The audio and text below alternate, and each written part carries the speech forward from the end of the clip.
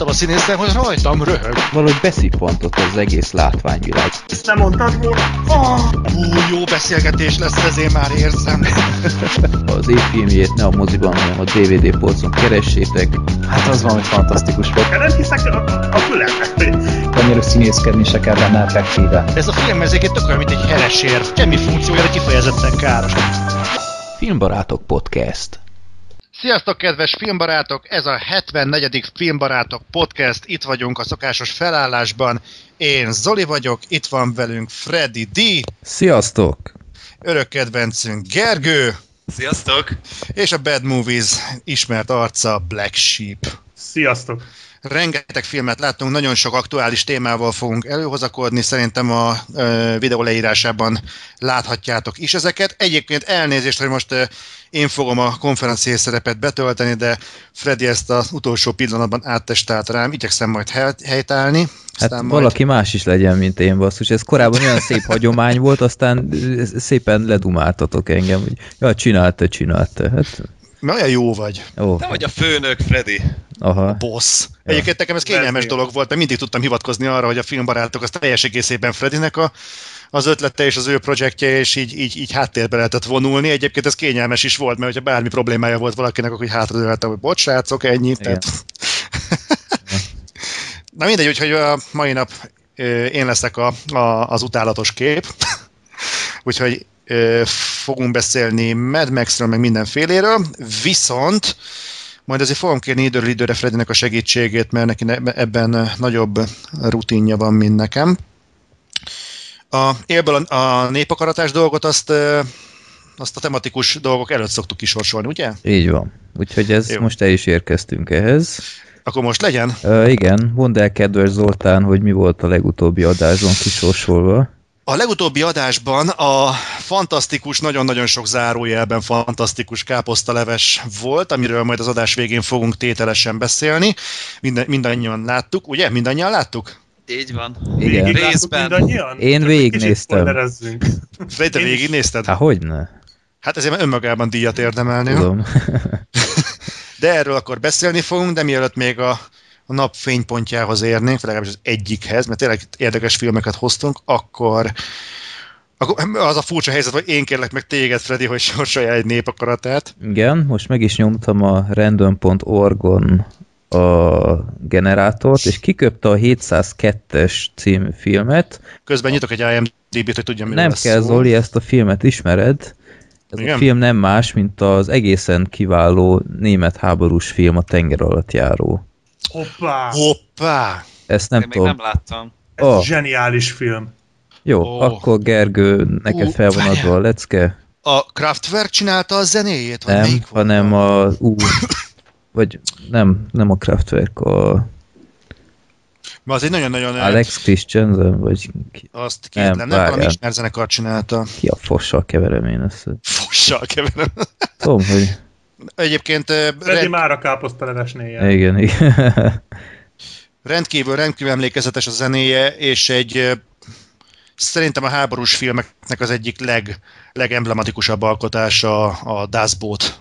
Szerintem a világ egyik legjobb filmje, tehát én nem hm. nagyon...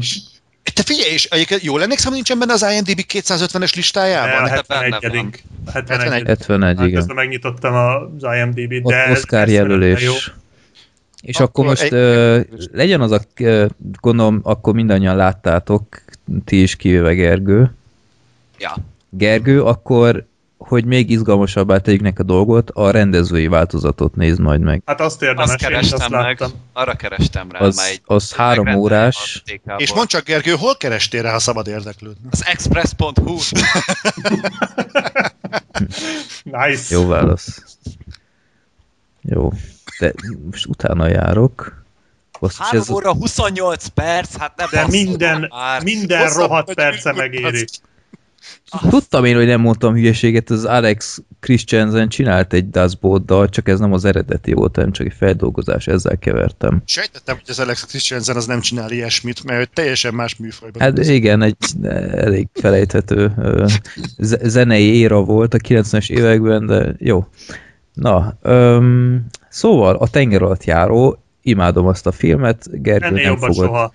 Hát tengeralattjárós filmeknél ez messze, hát ez olyan, mint a horror, vagy a, a ördögűzős filmeknél az ördögűző, ez tengeralattjáró Szerintem úgy általában a háborús filmek közül is magasan kiemelkedik, de tényleg zseniális. Ja. Most itt felhájpoljátok nekem, aztán csalódni fogok az Ebben nem, Nem, azt nem fogsz. Egyébként az az érdekes, hogy, hogy szerintem például hogy mennyit változott a filmgyártás azóta meg most. Ez a Das Boot és az U571 közti különbségen tökéletesen lemérhető, pedig szerintem az U571 nem egy rossz film. Ö, jó, de azért teljesen más alapszituáció a Persze, két nem film, ugyanaz. tehát a, a, a Dashboardban nekem azt tetszett nagyon, hogy így megelőlegezem, hogy semmiféle ideológiát nem vitt be, tehát katonák voltak egész egyszerűen, tehát teljesen mindegy, hogy most a náci birodalomnak dolgoztak úgymond, hanem tényleg csak katonákról szólt, és Igen, mert amikor be vagy zárva egy ö, ilyen bádog dobozba, ami bármelyik pillanatban szétesett, és rajtad van ki tudja hány ezer tonna víz, akkor nem nagyon tud egy ideológia hatni rád, tehát Igen. ott nem erről szólnak a dolgok, és ez nagyon jól mutatja be a film. mm, És ez A ilyen kemény klaustrofób- film. Hát a klaustrofóbia meg az ilyen bezártság szempontjából teljesen mindegy a háttér ideológia. és operatőri szempontból is korszakalkotó volt, mert ott azt hiszem, ennél a filmnél használták először a Steadicamet, mint hogyha extráknál ezt Nem láttam tudom. volna, hogy ott tényleg a, oda volt csatolva az emberhez, és emiatt tudtak mindig menni a, a tengeralattjárós után, amikor ott az a kis járatokon ment. Mondjuk azon mindig le vagyok nyűgözve, hogy az ilyen filmeknél, amiknél szűk tereken forgatnak, egy operatőrnek ez mekkora kihívás lehet. Jó. Mert ugye nem veszítheti el a néző azt az érzetet, hogy ez továbbra is egy szűk térben játszódik, tehát nagy látószögű optikát nem lehet használni. Nem. Tehát és, és fókuszban kell maradnia úgy, hogy a szereplő adott esetben fut. De nem rángathatják annyira a kamerát, hogy a néző közben epilepsziás rohamot kapjon. Tehát ez egyébként szerintem tengeralattjárós filmben ilyen akciójeleneteket leforgatni eszméletlen bravúr, és így, hogy ez a film ráadásul mikori? 81. 82 vagy egy. Pláne. Ja. Eszméletlen. Hát meg azok a csaták, tehát ilyen fe- feszült csata jelenetek nem sok filmben vannak, mint ebben. Na jó, Ami nem akarom elszpoilerezni, nem akarom Gergőnek elszpoilerezni, de én Akkor ne tedd. rommá Csak, érz, csak érzékeltetni akartuk, Gergő, hogy mennyire fiatal vagy. Igen. ja. Jó, nem fogod megbánni nekem minden meggyőződés. szar, ami Töregedni fogok régi. tőle, vagy nem? Hogy? Most töregedni fogok ettől a filmtől. Nem, teljesen Három és fél nézhető. órával öregebb leszek tőle. Hát Nem. minden filmtől öregszel, tehát. Ez tetszeni fog. Még, még a Freddy nével is megnéztem, és ő is teljesen oda volt ezért a filmért, pedig nem feltétlenül egy háborús filmrajongó, úgyhogy neked biztos nagyon tetszeni fog. Jó van. Remélem legalábbis. Ha van benne Hulk, akkor bevő vagyok rá. Na jó, nem amúgy. De igaz, milyen Érdekes lesz, ha lenne, így kezdesz neki, tehát az, Ja. az milyen kemény lenne, a véleményedre. az milyen kemény lenne, hogyha a tenger alatt járosok találkoztak volna Aquamannel?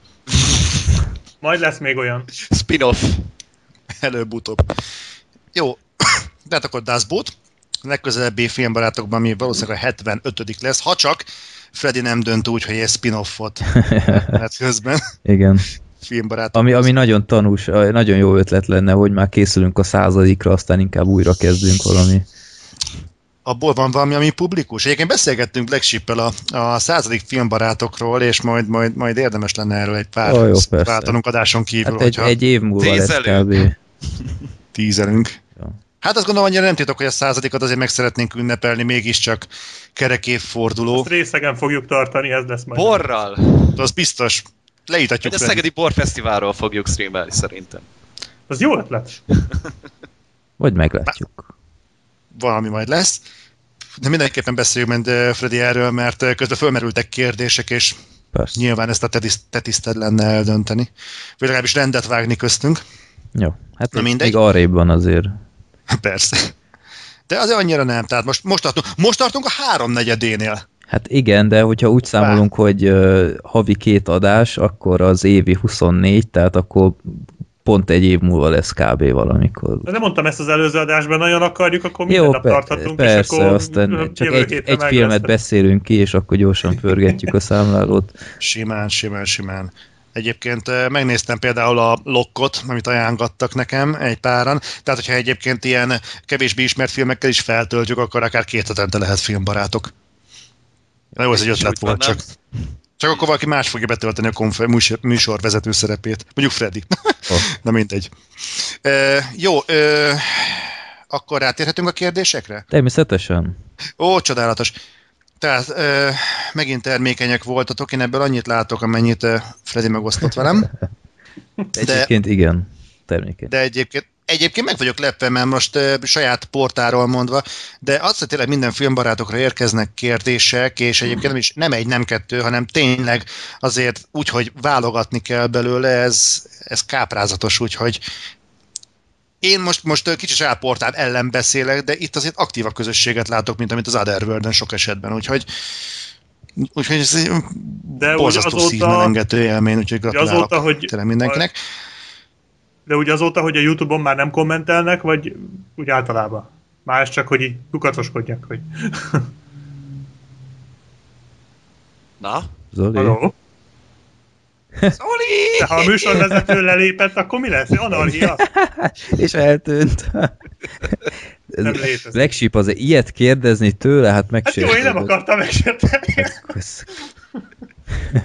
Na jó, hát akkor átveszem a moderátori szerepet. Az első kérdés Leheltől. Melyik a kedvenc zombis filmetek? Zoli? Zoli? Hol vagy? Ó, Ciao. és itt van. Nem tudom, mi van a Ennyire Skype. csúnyát kérdeztem, Zoli? El- Nem, Meséltődj meg. nem, nem is hallottam, mit kérdeztél, mert addigra lebontott a Skype. Mindig nem is baj, mert hülyeség volt. Nem hallottam elnézést. Nem tudom, mi van a Skype-ommal, de valamit fogok csinálni ezzel a géppel. úgyhogy- Ó, mindegy. Jó, ö, Már az első kérdést feltettük, Zoli, úgyhogy válaszolhatsz is egyből. tehát ö, melyik a kedvenc zombis filmetek?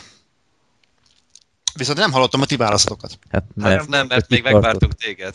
Ja, ó, köszönöm, hogy ö, feltételeztétek, hogy visszajövök.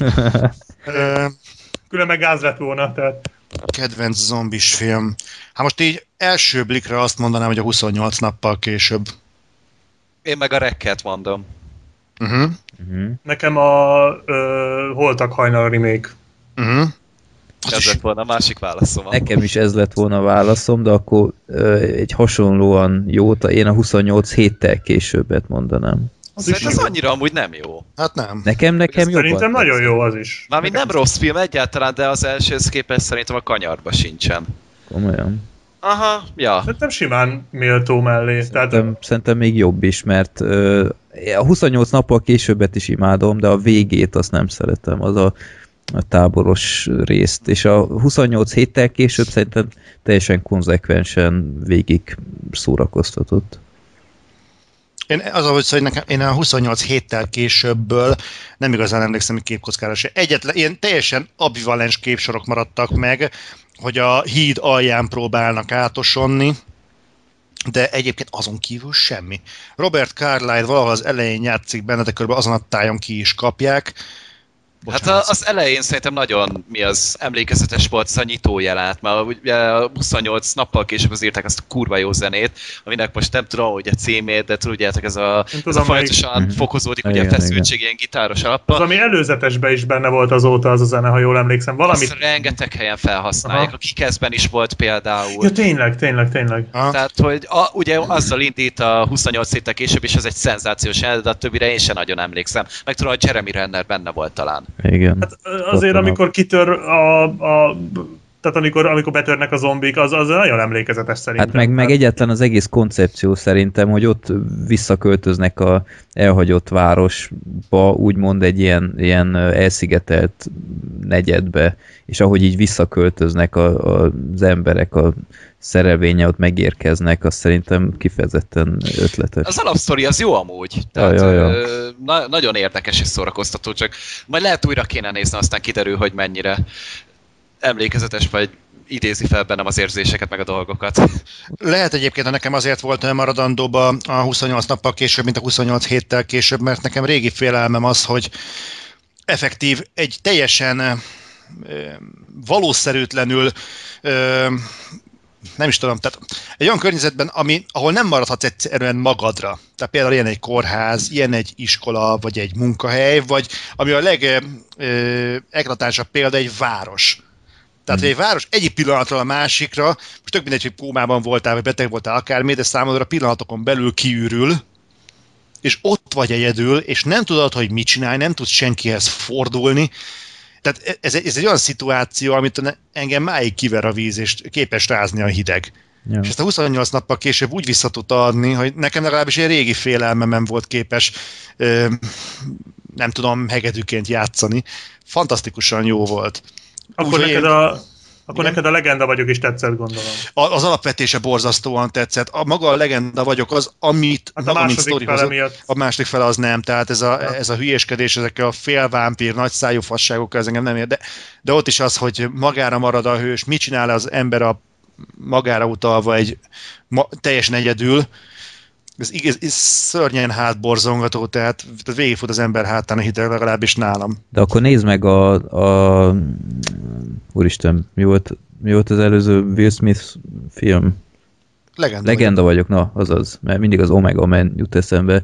Na, annak például, eh, Zoli, ajánlanám neked a, az alternatív befejezést, amit Lát, láttam, de nekem, nem, de nekem nem a végével volt baj, hanem az egész második felével. Aha. Tehát onnantól kezdve, hogy így látjuk, hogy kik ezek, akik ellen harcol. Az alapszító nekem jobban tetszett, mint az, hogy most, most ezek így, így most ugrálnak jobbra-balra, meg ilyen CG animált hülye gyerekek Elég rohangálnak csúnyák esténként. voltak, az biztos. Így, így nem, tehát komikus volt már lassan az egész. Meg ami mém készült róla, az megvan, nem? Hogy öt évig túlélte egy kutya társaságában, találkozott egy nővel, és azonnal meghalt. Uh-huh. Spoiler. Ó, úristen. Na mindegy, szóval így, így nekem a legenda vagyok azért nagyon nagy kihagyott zicser volt, de, de tényleg jó. Nem rossz egyébként, csak nekem személy szerint annyira nem tetszett. Hát meg ott azért én Will Smith szerintem nagyon sokat számított abban a filmben, tehát ő amúgy nagyon jól játszott benne. Nagyon jól lát neki a karakter, és jól is volt megírva meg. Én amúgy szeretem azt a filmet, mondjuk csak egyszer láttam. Lehet, hogy ezt is így másodszorra meg kéne nézni, hogy mennyire tartotta ki Most dolgokat. meg már De utálhasd. lehet. Uh-huh. Jó. Jó, ö, zombis filmekkel akkor meg vagyunk? Aha, na bocs, csak Van, van közben. háttérvokál valahol. Igen, köz... Úristen, gyere, gyerek nézi a káposztalevest. De nézze káposztalevest, hát Igen. igen, meg Hívom a gyermekvédelmiseket, hát Freddy, ne hagyd már. Körülbelül én is Akkor ezen a inkább tudod. csak én, én artikulált szavakat formáltam, amire felkapta fejét a szomszéd is. Nem volt túl, szó, nem volt túl. Eljátszottad a Godzillát. Így igaz. Így igaz. Na, második kérdésünk. Nálam csak keresztnevek vannak, úgyhogy ezúton is elnézést mindenkitől, de ezt gondolom az illető magára fog ismerni. Balázs küldte a következő kérdést nektek. Melyik a kedvenc igaz történeten alapuló filmetek? Közösségi háló. Közösségi háló? Uh-huh. Nagyon Nekem- szeretem azt a filmet. Legship? A- Az nagyon jó film, nekem most így hirtelen a Rush jut eszembe. Igaz De lehet, hogy van jobb, de most, most az jutott először eszembe, amikor megláttam a kérdést, hogy ja, az. A, a hallgatók számára könnyítésért ez a hajsza a győzelem. Ja, igen, bocsánat, csak én ezt a címet így nem szeretem. A Forma 1-es film, ami Ez jó. a Forma 1-es Rush, ami, tehát ez, ez a kurva jó Forma 1-es film, nem a stallone -és. Kb. Az az egyetlen, németes kb. film, az igen. egyetlen Forma 1-es film, mert többé nem nagyon akarta kifizetni a licencdíjat, úgyhogy az a Stallone is, is azért nem volt Forma 1, Ja, az mert se Forma 1, de autóversenyző. Hát, jaj, ja, trükköztek. Na, akkor én meg elsütöm a kb. már korábban Én sejtem, melyik 15-ször lehet. mondott filmet, az Ember a Holdont. Ami nekem még mindig nem a szívem csücske. És az Oli megint nem ad választ, mert eltűnt. Hogy nem mondtad Freddy a tenger alattjárót? Az is igaz történetet alapján készült, nem? Vagy nem? Hát nem konkrétan. Hát az tehát fikció. hát maga a tenger alatt Fikció? járó konkrétan, hogy létezette, de igazából nem is lény, tehát ott nem annyira lényeges, hogy az a tenger alatt járó konkrétan, meg az a kapitány, aki vezeti, meg a Ja, legénysége én azt hittem, hogy ez ilyen megtörténtes dolog, de akkor elnézést. Lehet, lehet, de nincs ez kidomborítva, tehát a rásba azért szerintem ott, ott ez egy fontos eleme a filmnek, hogy ez valóban megtörtént. Ott a tenger alatt járó, noha még jobb film, mint a rás, de ott, ott ez nem lényeg, az lehet neki talált is. Ja. Zoli válaszát pedig nem tudjuk. De mi nem tetszik? Na, mindegy, hagyjuk az Ember a Holdont, azt majd későbbre tartogatjuk. Igen, majd egyszer dobjuk már be, mert ezt már párszor mondtam, mert Ja, ja, én a te javaslatodra néztem meg, lehet, hogy túl magasra tettem a létszet, sőt biztos is, de nem igazán tudtam hova rakni azt a filmet, bár De- de... látom, látom az erényeid, de hogy mondjam, tehát lehet, hogy nem nekem készült az, ez a film, meg nem nekem van ez a fajta humor, tehát ez nem az én humorom, annak ellenére, hogy látom benne a mélységet, csak Uh-huh. nem szórakoztatott. Tehát így néztem, a Jim Carrey jó volt, meg, meg rendben volt az egész tudsz, de valahogy hiányoltam a poénokat belőle. Hiányolt, tehát Nem tudom, ez nem nekem kicsit feltétlenül ö, vígjátéknak. Igen, ez, de igen, mert, mert az a humor, ugye egy humoristáról szól erről a... De még csak nem is mondanám azt, hogy humorista egyébként, hanem Hát csak egy ilyen média szórakoztató. hacker, tehát Egy És voltak benne, igen, voltak benne hatalmas jelenetek, például a birkózás, tehát Igen, az, igen. az például nagyon jó, de úgy általában az egészen nem Mhm. nagyon tudtam mit kezdeni, szóval ezért nagyon szubjektív, hogy nekem miért nem tetszett, de majd egyszer kibeszéljük, majd a századiknál. Jó. Ott feltétlenül. Ó, Neked ó, mi a kedvenc igaz alapuló filmed? Hát amíg elfelejtetted. Én Kicsit idegeskedtem itt egy kört közben. Ö, hát így, így hirtelen nem tudnám megmondani. E, Tényleg nem, tehát nem, nem kioldalogni akarnék a válaszból, de tényleg nem tudnám megmondani még a kedvenc. Hát azt már az adásból is megtettem. Ed Wood szóval. például? Igaz És az. Az, az Ed Wood az, az nagyon jó, de nem tudnám azt mondani, hogy ez a kedvenc, de tényleg nincsen kapaszkodom, hogy melyik a kedvenc igaz történeten, igaz történeten alapuló filmem. De az Ed Wood az tényleg, tényleg nagyon jó. Nehéz lenne megmondani. Tényleg.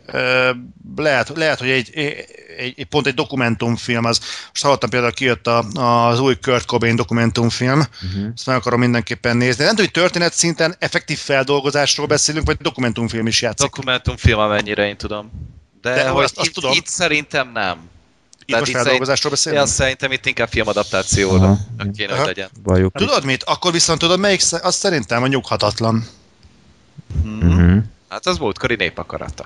Pontosan. Kedves hallgatók is tudják, Nem, hogy miért nem a múltkori, az előtti, nem? Hát egykori. Múltkor hasadás volt, már elfelejtetted, Gergő? Uh, ki akartam törölni ezt a filmet az Én emléket. még mindig Sőt. csuron vizesen izzadva föl szoktam ébredni a hasadásra gondolva, tehát Sőt, van még egy másik, a, a számító emberek, a Silicon Valley kalóza. Ez nem igazán ö, személyre, tehát nem egy emberre fókuszáló igaz történet, vagy egy konkrét eseményre, hanem a, a, az informatikai fejlődésnek egy olyan szakaszára fókuszál, amiben Bill Gates és Steve Jobs, ugye a Microsoft és az Apple alapítói játszották a főszerepet. És az ő kapcsolatukat helyezik középpontba, és nekem a személyes top 10-es listámon az első, szerintem háromban benne van ez a film. ezt És, egyszer ö, ajánlottad, én ezt fel is írtam magamnak, és azóta nem néztem meg, úgyhogy jó nyomom. El, elküldöm majd, szerintem az egyik legjobb inspirációs mozi, amit el lehet képzelni. És szerintem aki azt látta, az érti, hogy miért mondom azt, hogy ez az Ashton Kutcher-es adaptáció egy hulladékmocsok szemét volt. Úgyhogy, igen, 18. adásban beszéltél erről a filmről, úgyhogy meg Aha. lehet hallgatni. igen, úgyhogy nem is rabolnék ezzel több időt.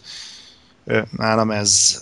Bocsánat, csak hogy még egyszer mindenki képbe legyen, akkor el tudjátok mondani ezeket a címeket még egyszer? Csak hogy aki akar filmbarátok Insidert lát, látni, hallani, az még egyszer hallja. Hogy kinek mi a kedvenc? A kedvenc igaz történet alapuló filmek. Én a közösségi hálót mondtam. Uh-huh. Én a Rust. Én az ember a Holdont, Ember a Holdon, igen, illetve ö, számító emberek valami nyughatatlan, így megosztva 50-50 százalék. Jó, és akkor menjünk tovább. Megint keresztnevem van. Patrik küldte be. Melyik volt a kedvenc színészetek legjobb és reg- legrosszabb alakítása? Tehát kedvenc színész és legjobb, re- legrosszabb alakítás. Hát, Freddy, szerintem nálad Ryan Goslingról beszélünk. nem. úgyhogy- Nekem továbbra Steve is Steve McQueen a kedvenc uh, színészem. Nem, hogy nem, nem? komolyan. Hát- komolyan. Igen. Nem Ryan Gosling. Na, még nem. Hát Még nem. Az még a, nem olyan széles a filmográfiája, de, de benne van a top 5-ben, maradjunk annyikon. Megnyugodtam.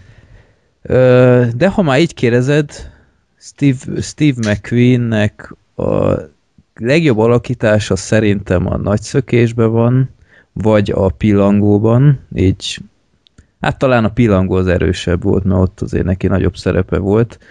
Legrosszabb az Ez egy húzós kérdés. Dob be a masszát, azzal nem lehet veszíteni. Azt, ö, nem, az a baj, hogy most ez kicsit csalás, de van egy olyan filmje, hogy valaki odafent szeret engem, csak ott egy nagyon-nagyon kis szerepe van. Viszont olyan trén játszik, tehát igazából ezt kéne mondanom, mert ez volt a legrosszabb, amit tőle láttam, sőt, tavaly vagy idén láttam tőle egy The Great St. Louis Bank Robbery című filmet. A film az, az ordinárin rossz, és uh, ott se volt így teljesen a, a toppon, úgyhogy akkor én ezt a kettőt mondanám, de egyébként nem ő szokott az a faktor lenni a filmjeiben, aki miatt rossz az egész, úgyhogy ja. Rendben. Ö, akkor viszont folytassuk Black Sheep-el. Hát Kedvenc én igazából színész. én eh, meg vagyok lőve, nekem így nincs konkrétan kedvenc színészem, tehát most ezt tudom, hogy ez is ilyen kimagyarázásnak tűnik, de nekem ez mindig változik. Most jelenleg a Jake Gyllenhaal a kedvenc színészem, de ez két évvel ezelőtt még nem így volt, vagy másfél évvel ezelőtt, amikor még nem láttam a uh, mi az éjjeli férget. Tehát most a Jake Gyllenhaal legjobb alakítása az éjjeli féreg, a legrosszabb. Hát, talán a Volt holnap neki pár után- romantikus komédiája, nem? Igen, de azokat nem láttam, tehát Ja, azokat így kihagytam. Csak az azokat néztem meg, amik Holnap után Hát most az nem volt annyira rossz, csak azért nem egy, most nem mondom az éjjeli férget, de mondjuk a fogságban nál is sokkal-sokkal gyengébb. De nem is neki való szerep volt egyébként, de mondjuk mit tudom, előtte meg volt a Michael Fassbender a kedvenc színészem, egy időben volt a Michael Douglas a kedvenc színészem, tehát ez, nálam ez így teljesen rotálódik, úgyhogy én erre így érdemi választ nehezen tudnék. De mondjuk legyen a Jake Gyllenhaal, és akkor megmondtam a kettőt. Szükséges itt hozzátenni, hogy itt most nem eh, teszünk bele ilyen árnyaló ö, tényezőket, hogy a színésznek a szerepvállalását, azt mennyiben befolyásolja a menedzsment, hogy a filmet mennyire kúrja el a stúdió, meg ilyesmi, hanem szigorúan most csak a színészre fókuszálunk. Ezt azoknak mondjuk, mondom, akik ö, hallgatnak ugye minket, csak hogy ne vetődjön föl az kritikaként, hogy jó, de hát a Jake Gyllenhaal egyes szerepeit, azt mennyire határozta meg a rendező, meg az akármi. Tehát most itt kifejezetten lecsupaszítva a natúr, vázlatosan csak és kizárólag a színészre fókuszál. Ö, bocsánat, akkor hadd szúrjam közben, most közben eszembe jutott az egyik kedvenc színészem, még továbbra se A, de top 5-ös vagy top 3-as, az Al Pacino, a legjobb alakítása a sepphelyes arc, és a legrosszabb a Jack és Jill. Ennél nagyobb szakadékot elképzelni se lehet, úgyhogy én Ja. akkor itt, itt leállok. Akkor Gergő, tiéd a szó. hát én korábban elhangzott nevet fogok mondani, én Michael Fassbender fogom mondani. Eszméletlenül tehetséges ez az ember, és hát a legjobb alakítása az szerintem a szégyentelem, tehát, hogy ez egy nagyon érdekes Igen. Film, és nagyon érdekes a témája, és tényleg Fassbender az hatalmas benne, és a legrosszabb meg nagyon nehéz olyat mondani, ilyen rossz alakítását én nem nagyon láttam. Meg Talán jellegtelenebbet tudsz mondani, ilyen 300, meg ilyesmik, tehát... Hát de mert ott meg alig szerepelt, inkább itt azt mondja, hogy ez a bűnhálójában, az a Haywire, ez a női akcióhősös dolog, Mhm. nem sokat szerepelt benne, de rohadtul érdektelen volt a karaktere, meg úgy az egész előadásmód. Úgyhogy ott talán azért mondom ezt. Uh-huh. Hát nálam ez, most vagyok egy ilyen változó korszakban, amikor már a színész annyira nem meghatározó a, a, az adott filmhez, viszont ö, talán még mindig egy nagyon fontos pont Christian Bale. És hát számomra az egyik, a változatlan legnagyobb alakítása szerintem az amerikai pszichóban volt. Annál komolyabb jelenlétet eh, filmvásznon dacárának, hogy voltak fontosabb szerepei, de jobban a vásznon én még nem láttam dominálni, mint abban a filmben. Viszont eh, a- legrosszabb, amit láttam, és hogy egyszerűen nem értem, hogy hogy vállalhatott be ilyesmit, értem, de mégse értem, az az Exodus Istenek és Királyok. Ezt nem értem, hogy az hogy, hogy fér össze azzal a színésszel ez a két figura, de de ez az én személyes terhem, én, én így gondolom. Tudom, hogy ott van az amerikai botrány is, de én abba, a, azzal vagy meg tudtam békélni, tudtam, hogy az nagyon nagy részt egy improvizatív dolog volt, tehát színészként is egy kihívás, bár mondtam, hogy egy környezeti tényezőket ne vegyük ide Hát figyelembe. ez nem tőle volt rossz, tehát Persze. szerintem teljesen jó volt abban a minden más miatt. Abban mindenki jó volt szerintem. Tehát mindegyik színész nagyon jó volt. Ja, igazából. Pedig ez, ez egy performance mozi volt, ha létezik ilyen egyáltalán. Hogy, Most hogy, már igen. hogy, hogy a színészek úgy, úgy, úgy mire képesek Vonalba vagyok még? Igen. Vagy? Ja jó, megyek, nem szoktam ám bontani, de... De e, igen, szerintem az Exodus is az, az egy, az egy nagyon-nagyon masszív alja volt. Jó, ö, nem tudom, hogy ehhez a témához van-e még bármilyen hozzáfűzni való színészekkel kapcsolatban, esetleg árnyalnátok a korábban elhangzottakat valamivel. Akkor már szóba hoztad Zoli Ryan Goslingtól. Melyik a legjobb film, Freddy? Mondjad. Ne, legjobb alakításról volt szó. Melyik volt az? Van egy tippem, de mondd ki, kérlek. Ö, nem a Drive-ba alakított legjobban, szerintem. Nelson lesz az szerintem. Ö, igazából tényleg nehéz, mert, mert ő mindenhol nagyon jól alakított. Talán nem, nem, ez, Zoli tényleg meglepődnél. Ö, a, a Lars and the Real Girl-ben is szerintem marha jó volt, a, a Blue Valentine-ban és tehát ez...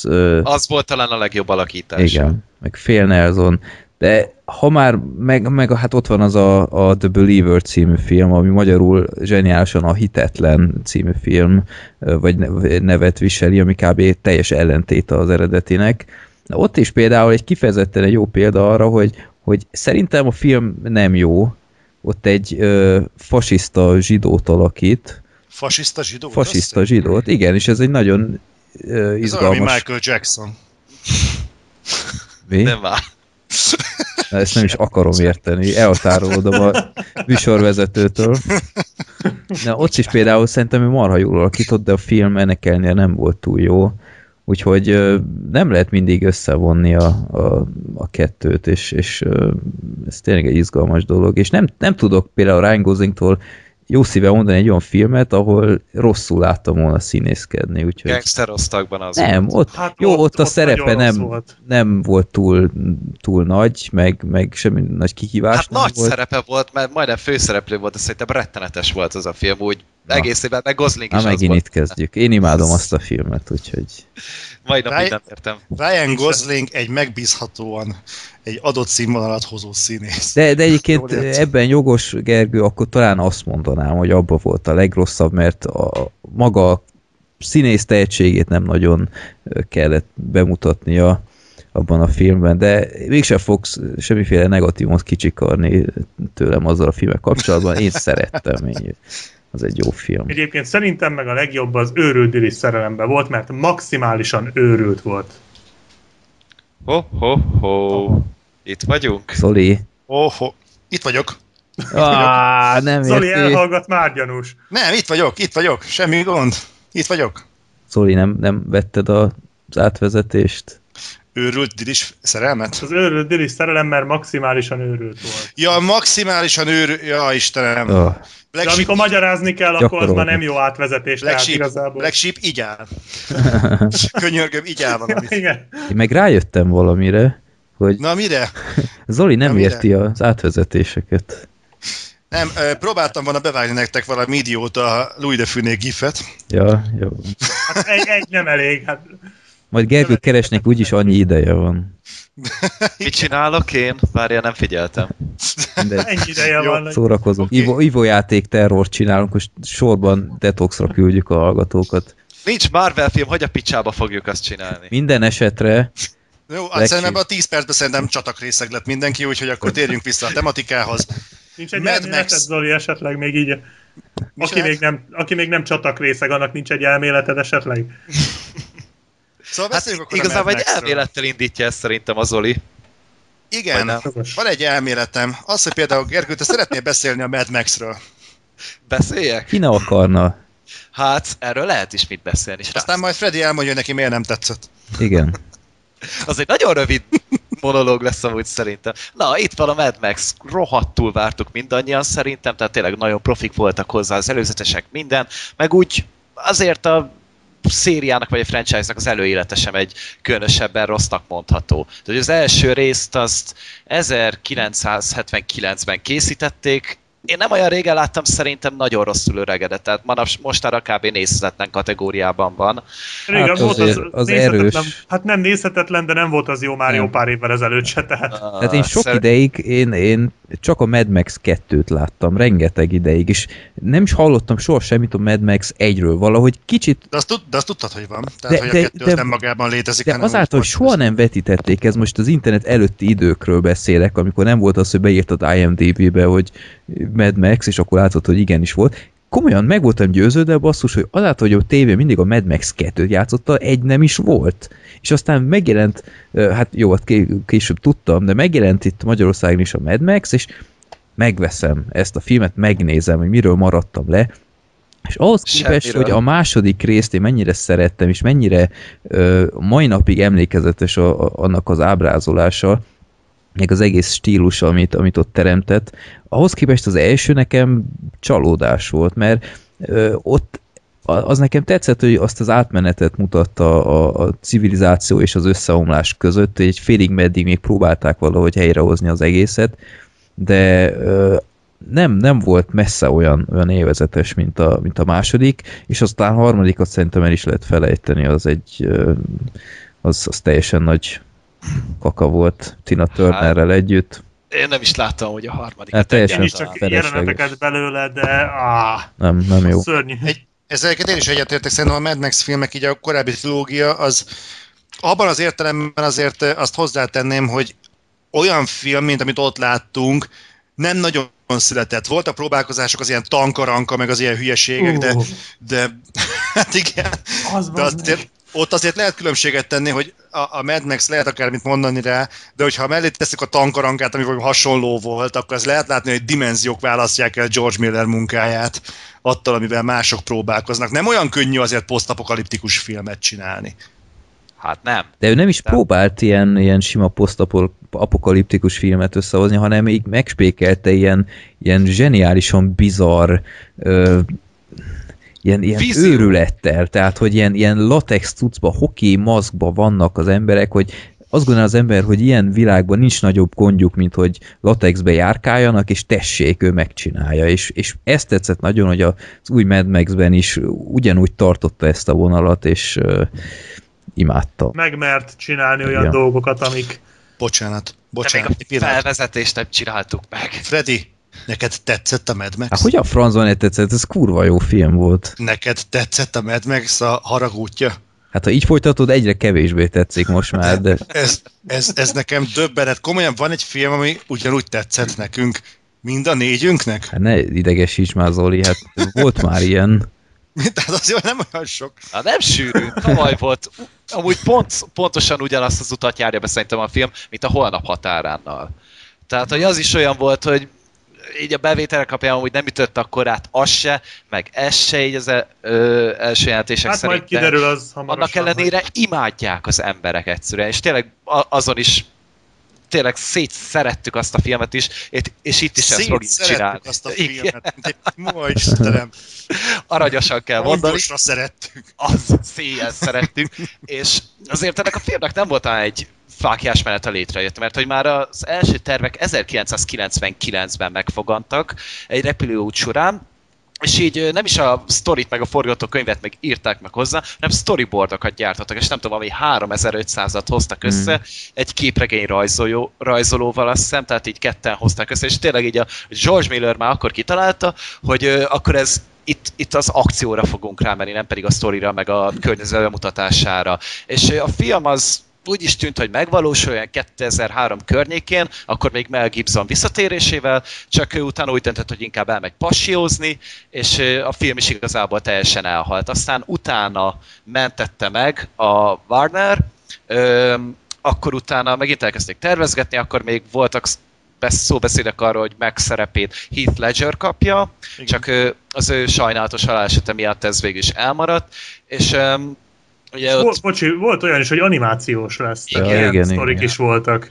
volt egy ilyen animációs terv, ami végül is nem valósult meg, szerintem nagyon nagy szerencsénkre, Szerintem is. és hát ez így jó, ahogy van, és végül is elkészült a film már 2011-ben elkezdték forgatni, tehát még az utómunkálatok is iszonyatos mennyiségben elhúzódtak. Az eredeti bemutató az, amikor tavalyra tavalyi végére talán ígérve.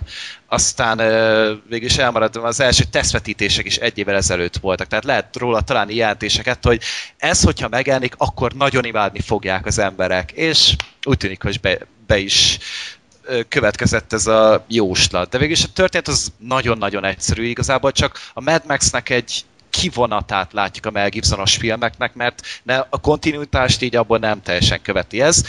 A rövid sztori az annyi, hogy Max az tengődik igazából a világban, ugye próbál életben maradni, a, a holtak is kísértik ugye a halott ö, szeretteivel, plusz az élők is ugye folyamatosan vadászák az olyan embereket, akik ilyen függetlenek és önállóan próbálnak meg érvényesülni, vagy egyedül szólóban.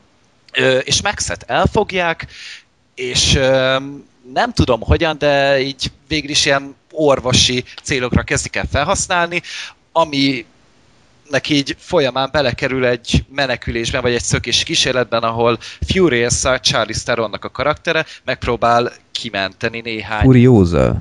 Furiosa, ezt mondtam, nem? Ja. Nem azt mondtam? Akkor én rosszul Hát csak te hallottam. angolul mondtad, gondolom felirattal lát. Én felirattal néztem, Hm.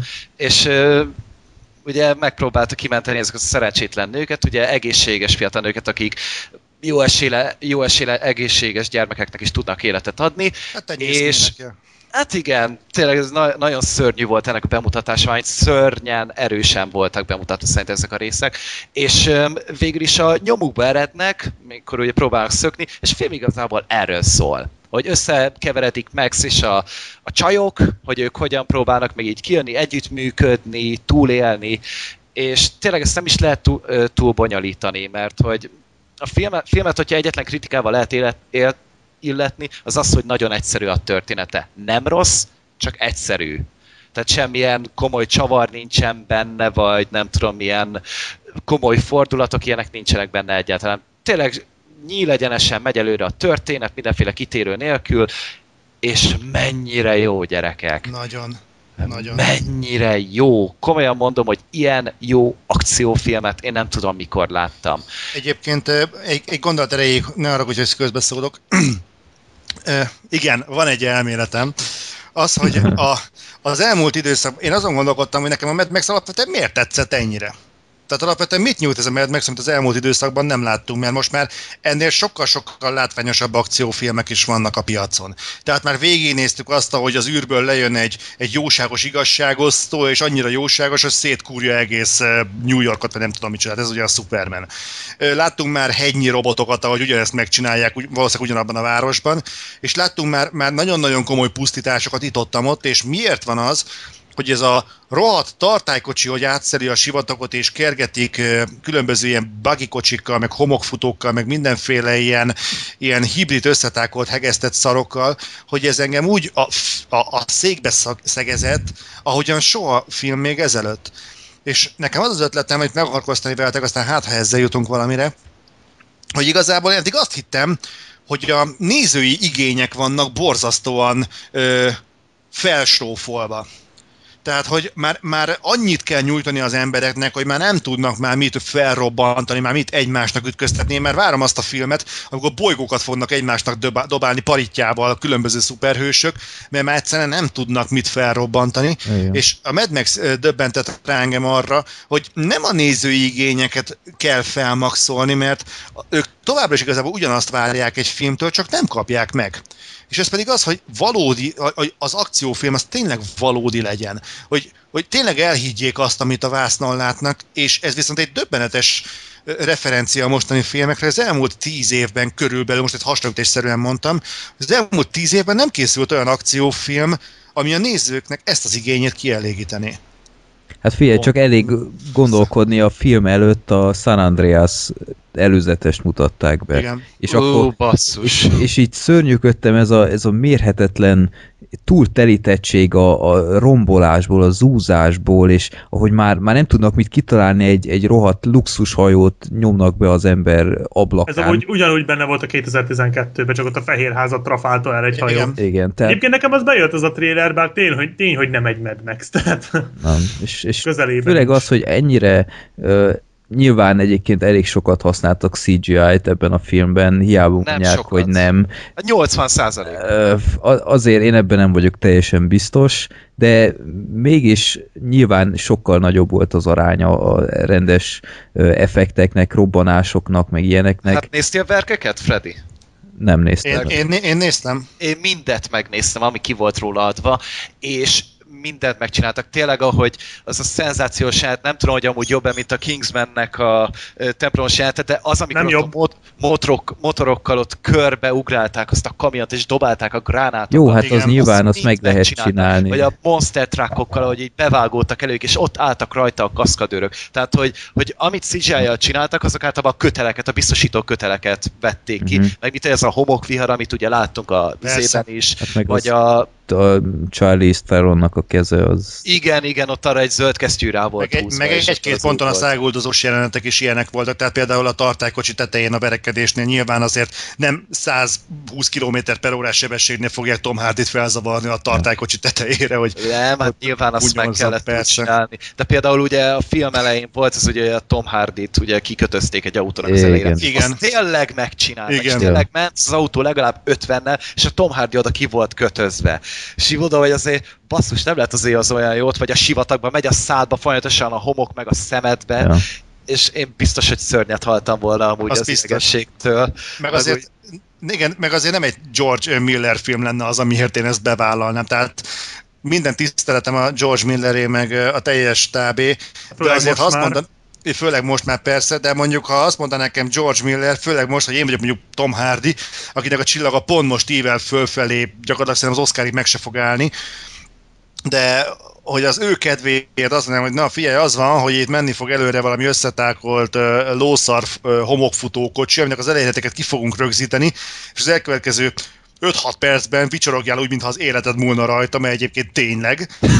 Tehát ez ö, nem biztos, hogy ezt bevállaltam volna itt Tom Hardy ö, helyében. Meg várj, És az a tényleg- csávó jön oda hozzád, akinek most a karrierje a táncoló talpakból, meg a Babe-ből áll. A kis Hát, malatos Babe beszéd- 2-ből. Már És az- első részt írta.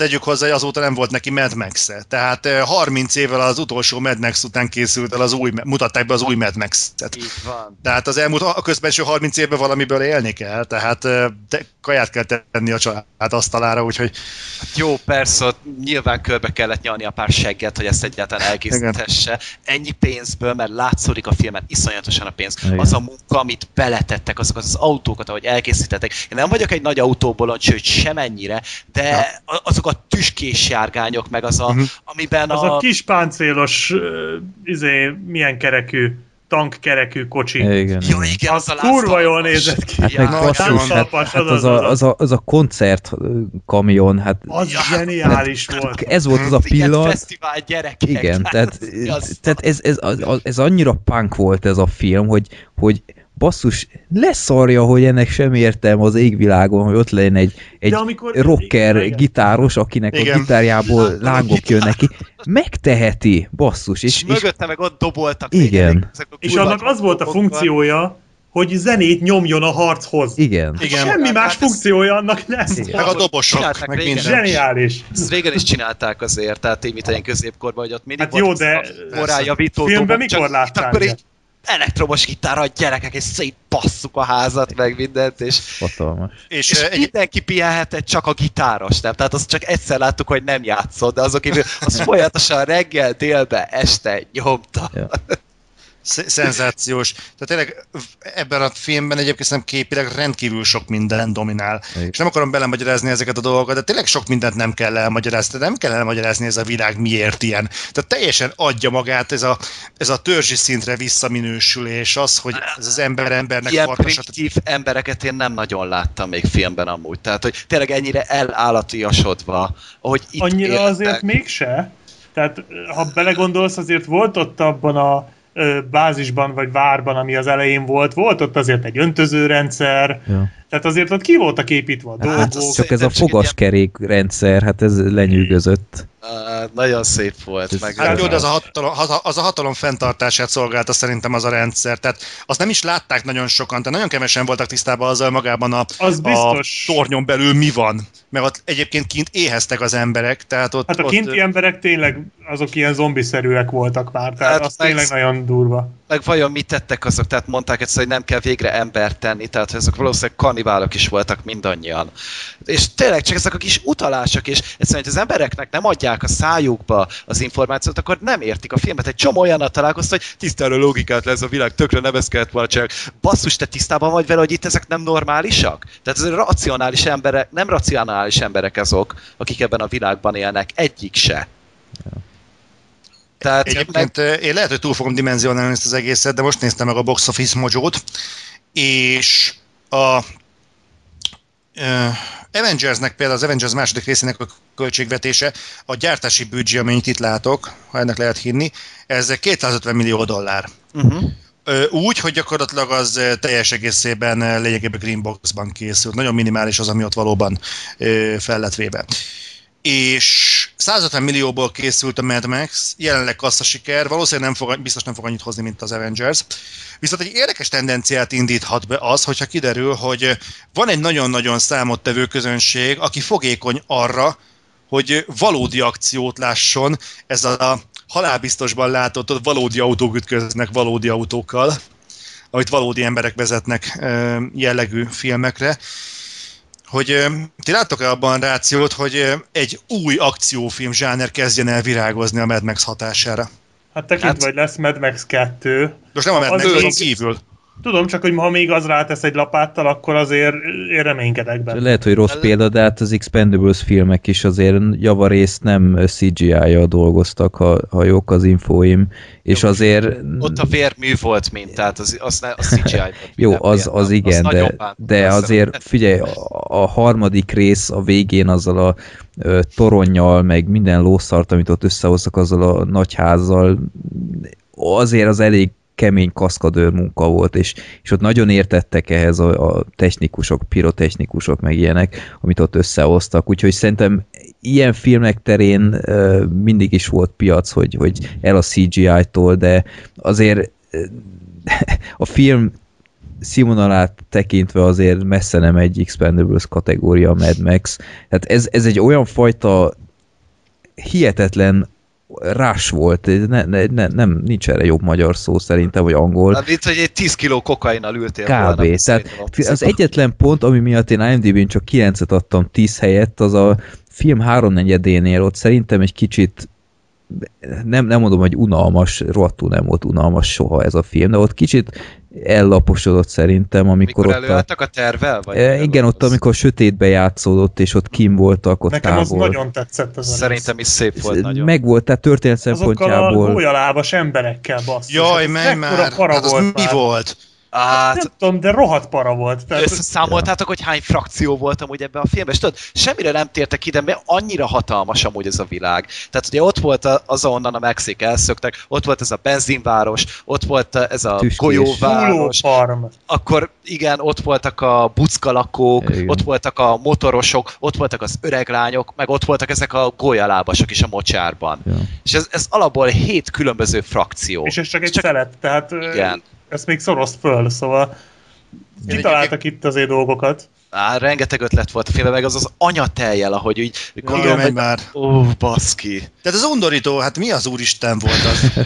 De egyébként komolyan gondol, eh, felmerült bennem az, hogy Fallout ját, a Fallout játéknak a rajongója beülnek a Mad Max-re, szerintem ők másfél órán keresztül ott fognak rejszolni a sötétben. Tehát ja, ez a játék... fél óráig megalszanak utána. Hát ez komoly, komolyan, tehát eh, a, a Mad max lekerül moziból, szerintem a legtöbb mozinál a bársonyszéket cserélni kell.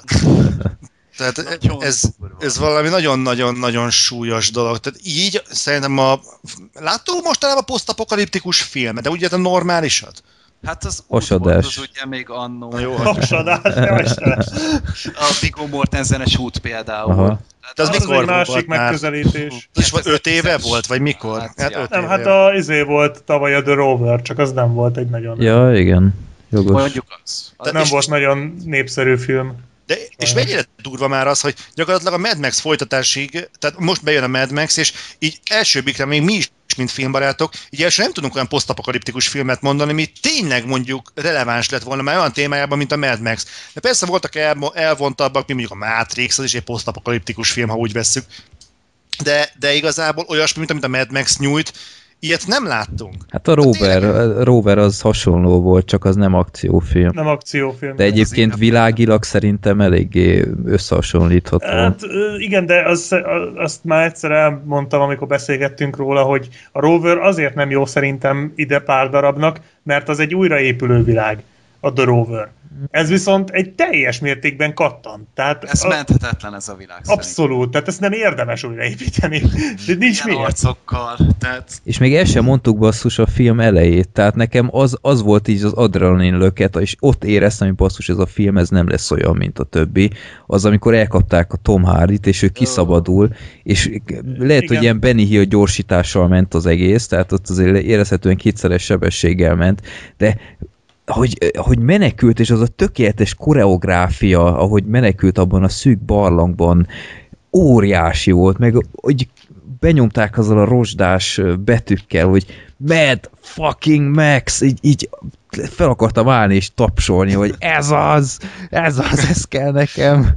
végre Freddy, én nem hallottalak még ilyennek, kezdesz megijeszteni. Hát de marha Hát jó ez- volt, én Tényleg ez élveztem. ilyen gy- gyermeki öröm, amit ez a film Az, az. És ez azért nem feltétlenül az nagyon gyerekeknek készült, ez vannak benne meredek dolgok, annyira nem, mint amennyire vártam, de azért például az a bizonyos műtétes hát az elég kemény volt. Úgy, úgy is, hogy nem mutatták. Mm. Volt egy részeiket, ami majdnem sírtam.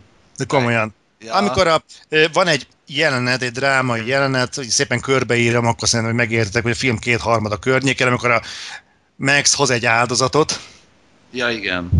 Amikor felvállalja a, a vérzsák szerepét valaki másért, de az olyan szépen van körítve, olyan ö, jó abban a jelenetben szerintem a Tom Hardy, nagyon jó a zene, amit alápakolnak, addig már pont eléggé együtt érzel mind a két figurával, és ö, e- e- ma, én tényleg azt még nyújtják egy másfél percig, én komolyan ám eltörik a mécses. Borzasztó. Hát a- De hogyha már így itt tartok, akkor ugye beszéljünk egy picit a karakterekről. Ugye Mad Mikről? Max az... Hát voltak amúgy, ugye ez egy, a film egyik Jó, persze. legnagyobb fegyverténye. Furious a srácok. Az nagyon jó Zseniális volt. volt az a karakter, tehát nem elég, hogy jól volt eljátszva, ugye tudjuk, hogy Charlize Theron azért elég tehetséges színésznő, de mellé még a, azok a szövegek, azok a tettek, amiket Igen. meg elkövetett ez a nő. Tehát egy olyan fel lehetett nézni erre a karakterre, és tényleg lá- láttad a motivációt, és szurkoltál neki, és én, én teljesen hatása alá kerültem. Hát Tehát, igazából egy, egy ilyen világ, meg egy ilyen közösséggel szemben, mint amit a film az elején ábrázolt, ott igazából motivációra se nagyon volt szükség. Tehát szerintem pont abban az volt a jó a film, és azért kezelte jó ezeket a karaktereket, mert minimálisan voltak megírva a karakterek, de egy olyan világban játszolott, ahol nem kellett több. Tehát, hogy egy ilyen világból te menekülnél, ahhoz nem kell motiváció. Tehát egy kicsit több eszed van, már egy jó karakter vagy ebben a világban. Ja. És ez nagyon jó És hozta. tényleg azért elég ritka manapság egy, egy kifejezetten erős és jól megírt női karakter. Ráadásul egy ilyen világban, Igen. tényleg ebbe, ebbe a tényleg Ja. férfiak által uralt erőszakközpontú tekintélvilágban, és itt van egy nő, aki próbál érvényesülni, és tényleg próbálja menteni a menthetőt, lehető legnormálisabb módon, és egyszerűen imádtam ezt a karaktert. Én komolyan mondom, hogy Ellen Ripley után ez a második legjobb női Igen. karakter, akit én filmen láttam, egy ilyen akciós szerepben. És tényleg kitartó volt, találékony volt, és minden a helyén volt tökéletesen. Pont Ma- Mad Max-et is lehet illetni kritikával, mert talán ő így ez a film inkább ilyen Furious és Nux, és valahol ott van még Max is a film. Igen, igen Tehát ezt ő a, kapott akkor a fókuszt, Ja. mint kellett volna, mondjuk így a címszerep, címszerep de alapján. ez baj egyébként? Ö, Mert nem, abszolút nem szerintem zavart. teljesen jó volt. mert jól kiváltották az ő jelenteit, de attól függetlenül egy picit többet vártam. Ö, Jó, alapban nem beszélt sokat, tehát az továbbra is fenntartó, hogy Tom Hardy gyűlöl szövegkönyvet tanulni, és azért vállalja ezeket a szerepeket, de én egy picit többet vártam, ez nem, fe- ez nem feltétlenül baj, mert tényleg nagyon jól volt ellensúlyozva a Furious-szával és Nuxal, ő ugye egy másik karakter volt, akiről Freddy végig azt hitt, hogy Casey Affleck, miközben Nicholas Holt. Hát de hasonlít ugye- rá. Nicholas Holt nagyon jó, amikor nem normális figurát kell játszani. Akkor nagyon jó. De komolyan, tehát nézzétek is nagyon jó volt. Ott is nagyon jó volt, igen. De én azért nem ismertem ezt a fickót, mert még soha nem láttam tőle úgy igazán tudatosan valamit is, mert a, mint utólag megnéztem a, a filmográfiáját, ebbe a X-Men First Class-ba láttam, és gyakorlatilag ennyi. Hát ott meg kék volt fele szerepében. Ja, tehát... úgyhogy nekem nem volt túl evidens, hogy ez a fickó. Én végig gondoltam, hogy basszus, ez Casey Affleck, de hát ő nem, azért csak nem vállal el egy ilyet, és az nem ilyen kigyúrt, meg minden, azt, ja, tehát ez van. De nagyon érdekes volt az ő karakter. Igen. Amúgy tényleg az a vallásos áhítata, hogy tudott visszanyúlni hogy az Immortal Joe-hoz, és az ő karakter is nagyon érdekes volt, hogy az a, tényleg az a szekta, az a, az a vallási áhítat, az a pálványozás, hát amit ő- felhúztak köré. Ő személyisítette meg ezt a világot tulajdonképpen. Igen, tehát hogy mi, minden központosult benne. Úgy az a undorító romlottság, és mellett az a gonoszság, erőszakosság, minden ott volt abban a figurában, és ahogy hozzá viszonyult a Nux, tényleg, hogy mondja, hogy rám nézett, basszus, rám nézett, az mennyire király. Az már, meg fantasztikus volt, Szóba állhattam vele, meg felengedett a Monster Truckra, meg minden, és, és nagyon érdekes volt a figura, az a változás, amin átment, mert azért volt karakterfejlődés itt bőven, mondják, hogy nem volt egyáltalán, volt a Mhm. Nuxnak és jók voltak a szövegei, tényleg szerintem Szálló Igen lesz később ez a What a Wonderful Day, tehát az annyira jól volt előadva, és te annyira örültem, hogy felírásan tudtam nézni Szegedet, de amúgy az is egy nagyon érdekes kaland volt, mert hogy minden nap csak egyszer volt 2D szinkronos vetítés, egy órakor, ami nálam kiesett, mert dolgozok mindig kettőig, és a péntek este pedig fél tizenegykor volt egyedül feliratos vetítés, amíg általában azért esik ki, mert akkor meg általában szórakozni kell menni Mm.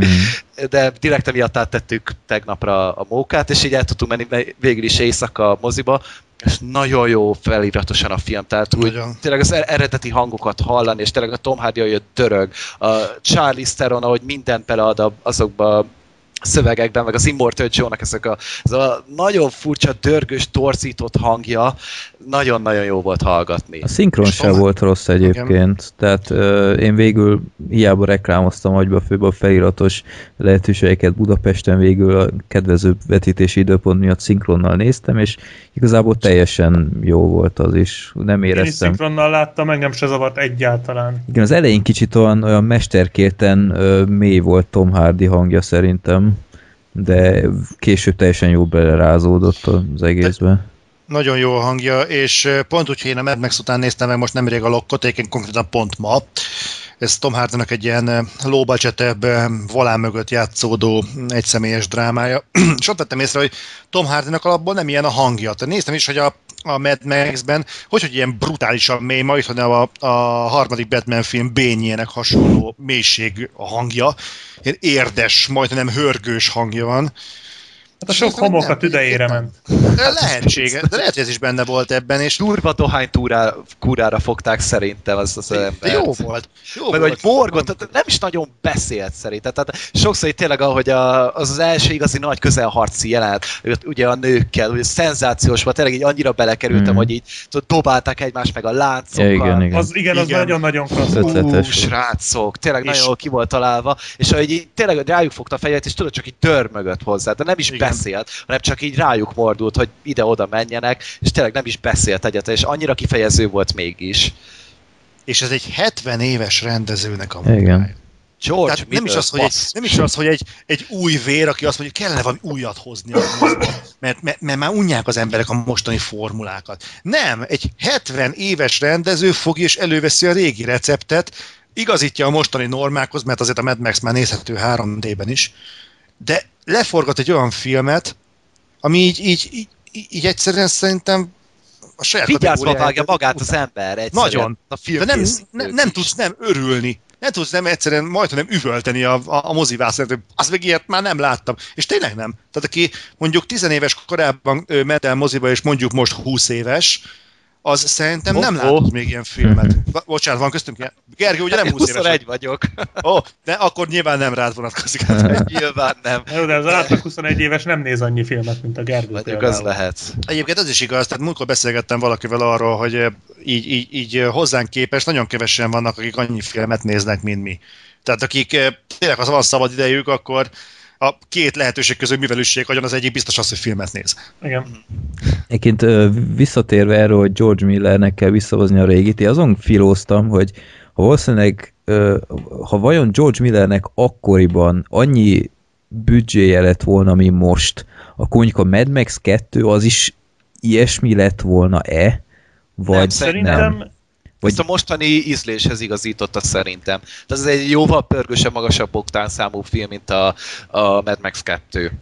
De Hát de nem azért, mert ne, de ez nem azért pörgősebb, mint a Mad Max 2, mert nem volt annyi pénz, hanem azért, mert akkor nem voltak ilyen filmek, tehát akkor nem készült ilyen. hát Azért... nem készülhetett. de figyelj, ilyen járgányok még ilyenek a, a másikban is lehettek volna, és A járgányok igen, de ez a fajta tempó nem jellemző a 80-as években uh-huh. nagy filmekre. uh-huh. Tehát a, Lehet, most Igen, mondja erről. mond, nem, befejeztem. Nem, mondani akartál még valamit.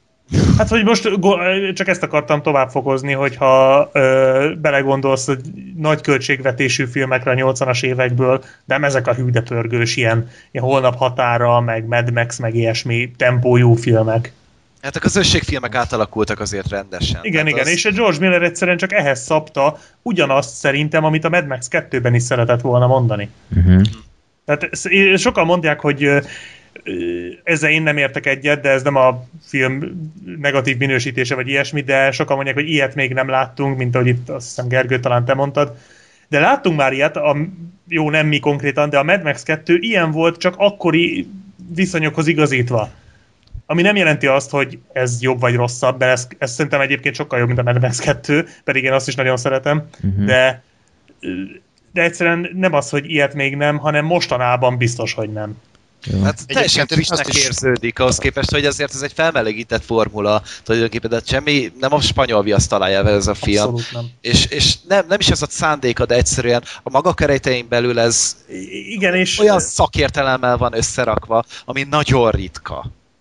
Egyébként azt is el- elképzelhetőnek tartom, hogy azért most a lelkesedésen túl lehet, hogy George Millernek azért eh, kurva komolyan teljesítenie kellett, mert hogyha azért megnézzük a munkásságát, azért a táncoló talpak, amit ahogy a két Mad Max film között, ami fontosabb és alkotott, annak és a második... kapott érte gyerekek.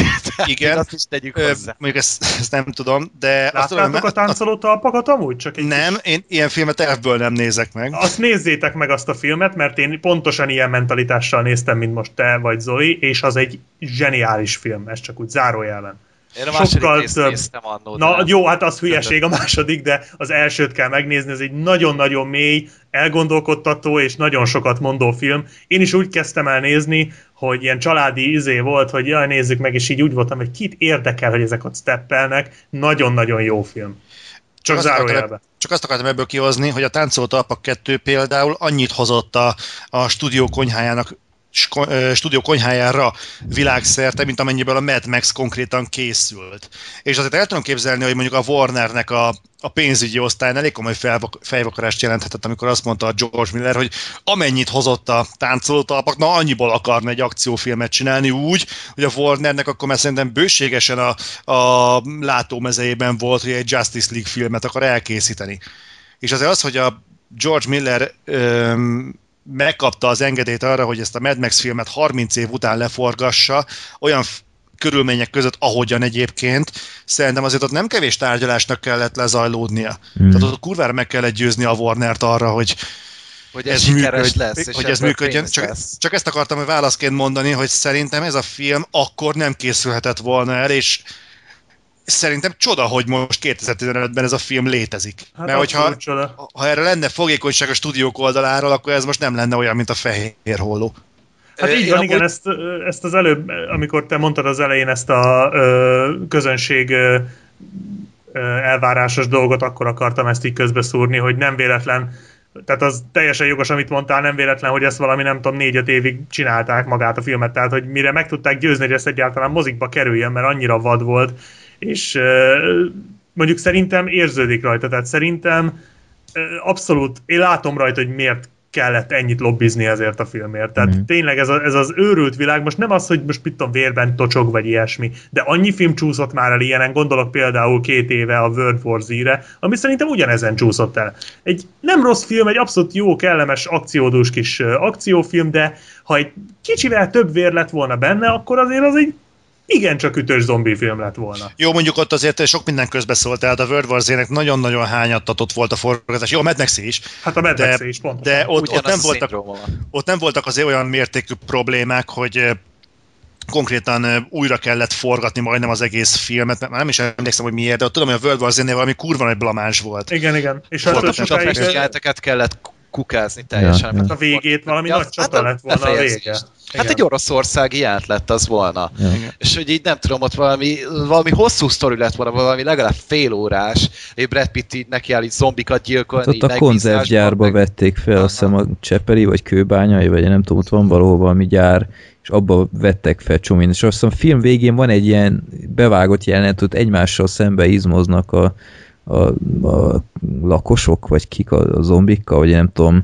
És eh, ez például, ha jól tudom, az onnan lett átvéve. Tehát egy kis ízeítőt kapunk abból, de öm, ja, hasonló Mert egyébként a, a kettő közti különbség szerintem abban látható, hogy a Mad Max-et nagyon sokat szoptak vele, de a Mad Max mire eljutott addig, hogy forgassák, a forgatás az már szinte zöggenőmentesen ment, de addig nagyon sokat szívtak vele. Amúgy a, nagyon a sokat Word- kellett ebből is újra forgatni. Tehát ö, még tavaly is voltak azt hiszem újra forgatások, meg Ja. még tavaly előtt is, Azt nem 2013 tudtam. meg Azért 14 hordott parókát a, a Charlize Theron a hogyan rohanja vesztetbe, mert itt kupaszra kellett vágnia állandóan.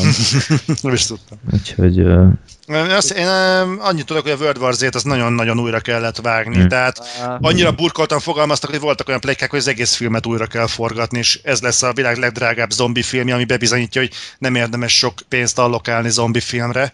Így is a legdrágább. Ami Igen, végül is nem lett igaz, mert még ezzel a büdzsével is plusz termelt a film. Hát be van jelentve a második rész, pont tegnap jött a hír, hogy 2017 júniusában Igen. jön Brad Pitt el vissza. Tehát Jó, ő csak vér is legyen benne, könyörgöm, merjék nem hiszem már. amúgy. Hát egy Mad Max után már hát, hogy kicsit hajlanak rá. De várjál, van abból egy izé R-rated verzió, nem? Igen, nem tudom, nem tudok róla. Nekem nagyon nagy érvágás volt a, ez a vértelensége a Azt filmnek. hiszem Blu-ray-en úgy adták ki, Ú, hogy na, így akkor arra majd rálesek. kis CGI vér van benne, tehát így Aha. annyi se, semmilyen belezés. Tehát akkor azért nem egy nincs. fulcsi vagy ilyesmi. Hát, jó. Nem, Hmm. azért. De mindegy, azért menjünk vissza a Bad Max-hez, mert még lehet annyi mindenről beszélni. Tehát például a zene. Tehát azok a, uh-huh. tényleg Hát ez az- a vad törzsi zenék, és annyi, tegnap óta amúgy azt hallgatom, a motoros jelenetnek a zenét. Ah. Az, Az nekem is annyira- nagyon megmaradt. Tehát így ott a józan által baj, hogy bele, beleolvad teljesen a filmbe, és nem tudsz rá külön figyelni, csak már így, így teljesen így extázisba kerültem attól a bizonyos jelenettől, és így elkezdtem egy figyelni a részleteket, így hallgatni az és így, hú, bazzeg, ez jó. és, és És az nekem is az volt, hogy, hogy ez a zene valószínűleg a filmből kivéve is rohadt jól működhet. Tehát az nem csak egy aláfestő zene volt, nagyon. az sokkal erősebb volt. Bár a gitárt azt lehetett volna szerintem jobban nyomni, tehát azt szerintem sokszor így nem, így, így összekeveredett az átlag motorhangokkal, meg mindennel, az kicsit zavaros volt szerintem, de Már most a felfüggesztett gitárt igen, igen, igen, hát a Rockstarról, ja. Egyébként az a fura, hogy most, hogy hallgatlak titeket, próbálom külső szemlélőként figyelni, hogy meg vagyok lepve, hogy például amikor az Ultron-t dicsértük nagyon, az Avengers-t, hogy ott Engemet nagyon sok, ki. Ne, csak, csak érzékeltetésképpen, hogy ott nagyon sokat beszéltünk például a rombolásról, meg az akciókról. És azt vettem észre, hogy itt bő 50 perce gyakorlatilag alig beszéltünk magáról az akcióról. Arról annál a Mad Max-nek a kapcsán, ahol túlnyomó részt mindent az akció tesz ki. Tehát egy két órás autós üldözés konkrétan ez a végén. De milyen? Igen, és szerintem ez nagyon, sok, és szerintem nagyon sokat elárul, hogy hiába akciófilm, de gyakorlatilag annyit lehet beszélni minden másról is körülötte, a, a, a zenéről, a díszletekről, hogy mi vezetett odáig, meg nem tudom mi, hogy szerintem ennek a filmnek önálló mitológiája van, és most függetlenül az előzményektől, mert ugye látjuk, hogy a Mad Max nem számozott folytatásként jött a moziba, hanem szám nélkül. Tehát tisztában volt vele a Miller, meg a stúdió is, hogy valószínűleg az, aki most be fog menni a moziba, elég kis valószínűséggel látta az előző Mad Max filmeket. Hát azért ebben nem vagyok teljesen biztos. Hát az emberek lehet, hogy kedvet kapnak hozzá. Most megugrik majd egy kicsit az előző részeknek a Blu-ray el, Ja. eladása. Csodálkozni fognak. Hát a Marvel generáció szerintem biztosan nem tud erről. Most nem a Marvel-seket akarom ezzel bántani, de a Marvel egy nagyon friss, frissen pörgő brand. Tehát aki most mondjuk a Marvel kapcsán kapott rá az akciófilmekre, meg erre a műfajra, valószínűleg fogalma nincs arról, hogy a Mad Max az micsoda. Nyilván vannak azért itt, itt is kivételek, de nagy zömében szerintem nem. A Tom Tehát ez- Hardy miatt úgyis elmennek rá. Persze, tehát tehát a- nyilván ami- vannak azért marketing megfontolásra hozott döntések is ebben az egészben, ez nyilvánvaló, de de ettől függetlenül ö, oka van annak szerintem, hogy a Mad Max az nem lett számozva. Írtam is Twitteren, írtam is Twitteren basszus, hogy, hogy ez egyetlen baj, a legnagyobb baj szerintem ezzel az új Mad max hogy, hogy azáltal, hogy ez ennyire über fasza lett, így szépen magyarosan. Hm. A, a második részt már nem, nem biztos, hogy meg akarnám nézni, mert ilyen Asylum verziónak tűnik ehhez képest. És így pedig én azt nagyon szeretem a, a maga Hát meg ez azért nem annyira stílusával. hogy 30 éves film. Persze, világos, csak, csak azért sok a hasonlóság a két film között, és, és nem lesz olyan, hogy ne gondoljam, hogy úristen, hát hol vannak itt a, a kamionok a tüskékkel, meg ilyenekkel. Meg hol vannak tudod azokon a rúdon lengező kaszkadőrök? Igen, Cirque du Soleil artisták. volt. Az tényleg olyan volt az egész, mint egy cirkuszi előadás. Hát azok cirkuszi artisták Igen. voltak igaziak, úgyhogy. Nagyon király. És ha már szóba került az ö, híres vagy erős női karakterek, nem tudom, ismeritek-e a Bechdel tesztet? Nem. Hallottatok Ja már igen, erről? igen, ezt ismerem, hogy A Bechdel tesznek az a lényege, amit szoktak filmekre, filmekre bontva meg, megvizsgálni, hogy az a lényege, hogy ezzel vizsgálják a, a női karaktereknek a, a fontosságát, illetve egyenjogúságát. Ez egy egészen egyszerű teszt, ami viszont a filmek kb. 4-5-öde megbukik. Az a lényege ennek az egésznek, hogy legyen benne legalább két női főszereplő, lehetőség szerint meg is legyenek nevesítve, tehát tudjuk a nevét. Ezek a nők beszélnek is egymással, és ha beszélnek egymással, ne férfiakról beszéljenek. és ez hót egyszer azt hinnéd, hogy úristen, hát ez, ez, ez ebben mi a nagy szám. Garantán nézzetek végig csomó filmet, megbuknak sorra. Ez a film olyan szinten teljesíti ezt uh-huh. már a, az első fél óra alatt, sőt már ma azelőtt is szerintem, hogy, hogy tehát ez azért nem semmi egy ilyen filmtől, ez, ez egy komoly elismerés, úgyhogy tényleg én, én nagyon örülök ennek, Ez egy Bagdad test pozitív film. Azért ez érthető is, mert Miller mondta, hogy eredetileg a főszereplő az a Furiosa lett volna Hát az is a új szerintem. Mad Max filmnél, viszont utána valószínűleg a stúdió nyomására, mivel ugye azért tudjuk, hogy a, a moziba járóknak a túlnyomó zöme az férfi, Hmm. hogyha a nők mennek, akkor általában akkor is a férfi hívja meg, mert, mert így illik. Hogy, meg akkor macsó vagy. hogy meg, igen, meg, meg azért a filmnek a hangvétel alapvetően nem annyira nőies. Én ezt akartam, Tehát- igen. Igen, hogy és ehhez képest meg milyen durva girl power van benne. nagyon, nagyon, de ezzel együtt va- valószínűleg ért, val- azért valahol érthető, hogy a stúdió azt mondta, hogy jó, oké, minden legyen erős női szereplő, legyenek erősek a női figurák, de a főszereplő az férfi. Már csak azért is, mert a Mad Maxből nem sem Mad Max szilát. Matt, Tehát- Matt Furiosa. Vagy Furiosa Road, és ennyi. Igen. Egyébként még annyi, hogy szerintem ennél pasibb film nem létezik most. Tehát Nem. nincs film, ami ennél pasibb. Én egyedül néztem a filmet, nem mertem Black Sheep-nét elrángatni, mert meg ő mondta, hogy neki, neki ez a, az előzetes se volt annyira. Tehát már ott túlzottan tesztoszteron dús volt neki az egész. És aztán hazajöttem, és mondtam, hogy hát jól tettem, mert igazából ebben a filmben minden megvolt, amit egy pasi szeret egy filmben. Tehát most, ez az, most amikor átmész macsóba, és úgy, Mhm. úgy jössz ki, hogy állat vagy. Tehát, hogy voltak, volt benne rengeteg akció, iszonyat jó látvány, iszonyat ronda, mindenféle szörnyszülöttek, robbanások, verdák, mindenféle garázsba összebuherált verdák, és öt darab hót, szexi, lenge öltözetű csaj. És mindezt úgy hozta össze, hogy ennek volt így egy, egy, volt egy, egy kerek egész volt az egész. Tehát semmi nem lógott ki. Tehát ez azért iszonyat nagy bravúr egyébként. Igen. Tehát most gondolj bele, ebbe a sztoriba beleraktak úgy öt bombázót, gyakorlatilag bikiniben, majd hogy nem, meg, meg mit tudom én, hálóinkben, hogy az nem lógott ki a filmből. Tehát én ebbe így, ahogy így belegondolok, ez hihetetlen nagy bravúr. Tehát szerintem az a, az, az öt csaj egyáltalán nem lógott ki sehogy, mint ahogy például az feláldozhatók háromba láttuk a, a kidobónőt, ugye? Hát az minden Jó, volt, hát- csak tehát az, az viccnek is rossz volt.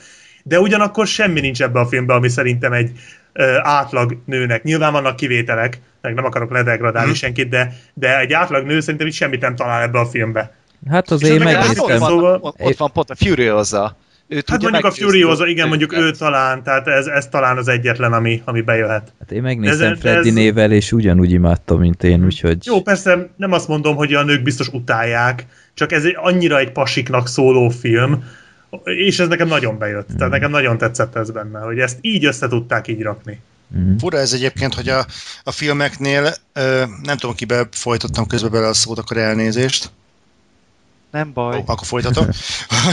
hogy a, a női karaktereket hagyományosan a filmeknél úgy vettem észre, hogy borzasztóan butára írják. Tehát nekik tipikus az a szerepük, hogy görgessék tovább a pasiknak egyébként a szerepét, és erre most tipikusan nem akarok mindig ezen rágódni, de a Transformers. Halálos Iramban 7, a. Transformers, meg ezek a látványfilmek tipikus példák, sőt például egyébként a, az Avengers is, ott például pont a cikk kapcsán olvastam vissza, hogy nagyon komoly gondok voltak a, a, az Fekete Özvegynek a szerepével.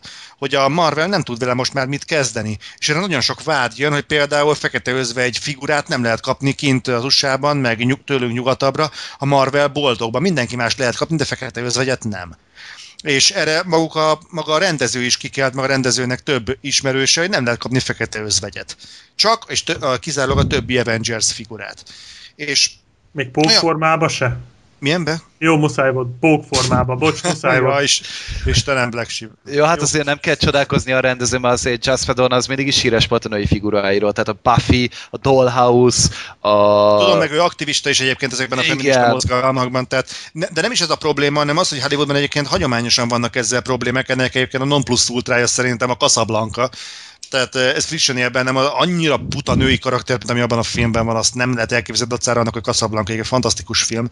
De pont ezért van nekem feltűnő, hogy például a Furiosa itt a, a Mad Max-ben egy borzasztóan erős figura volt. Bőségesen ö, kompetitív és, és és egyenrangú a férfi karakterekkel egy férfiak által un, ö, dominált világban. Úgyhogy én, én, én megkockáztatnám, hogy azoknak a nőknek, akik szkeptikusak a Mad max kapcsolatban, és szerintem nyugodtan tehetnek egy próbát vele, mert a- az eddigi sztereotípiekre bőségesen rácáfol.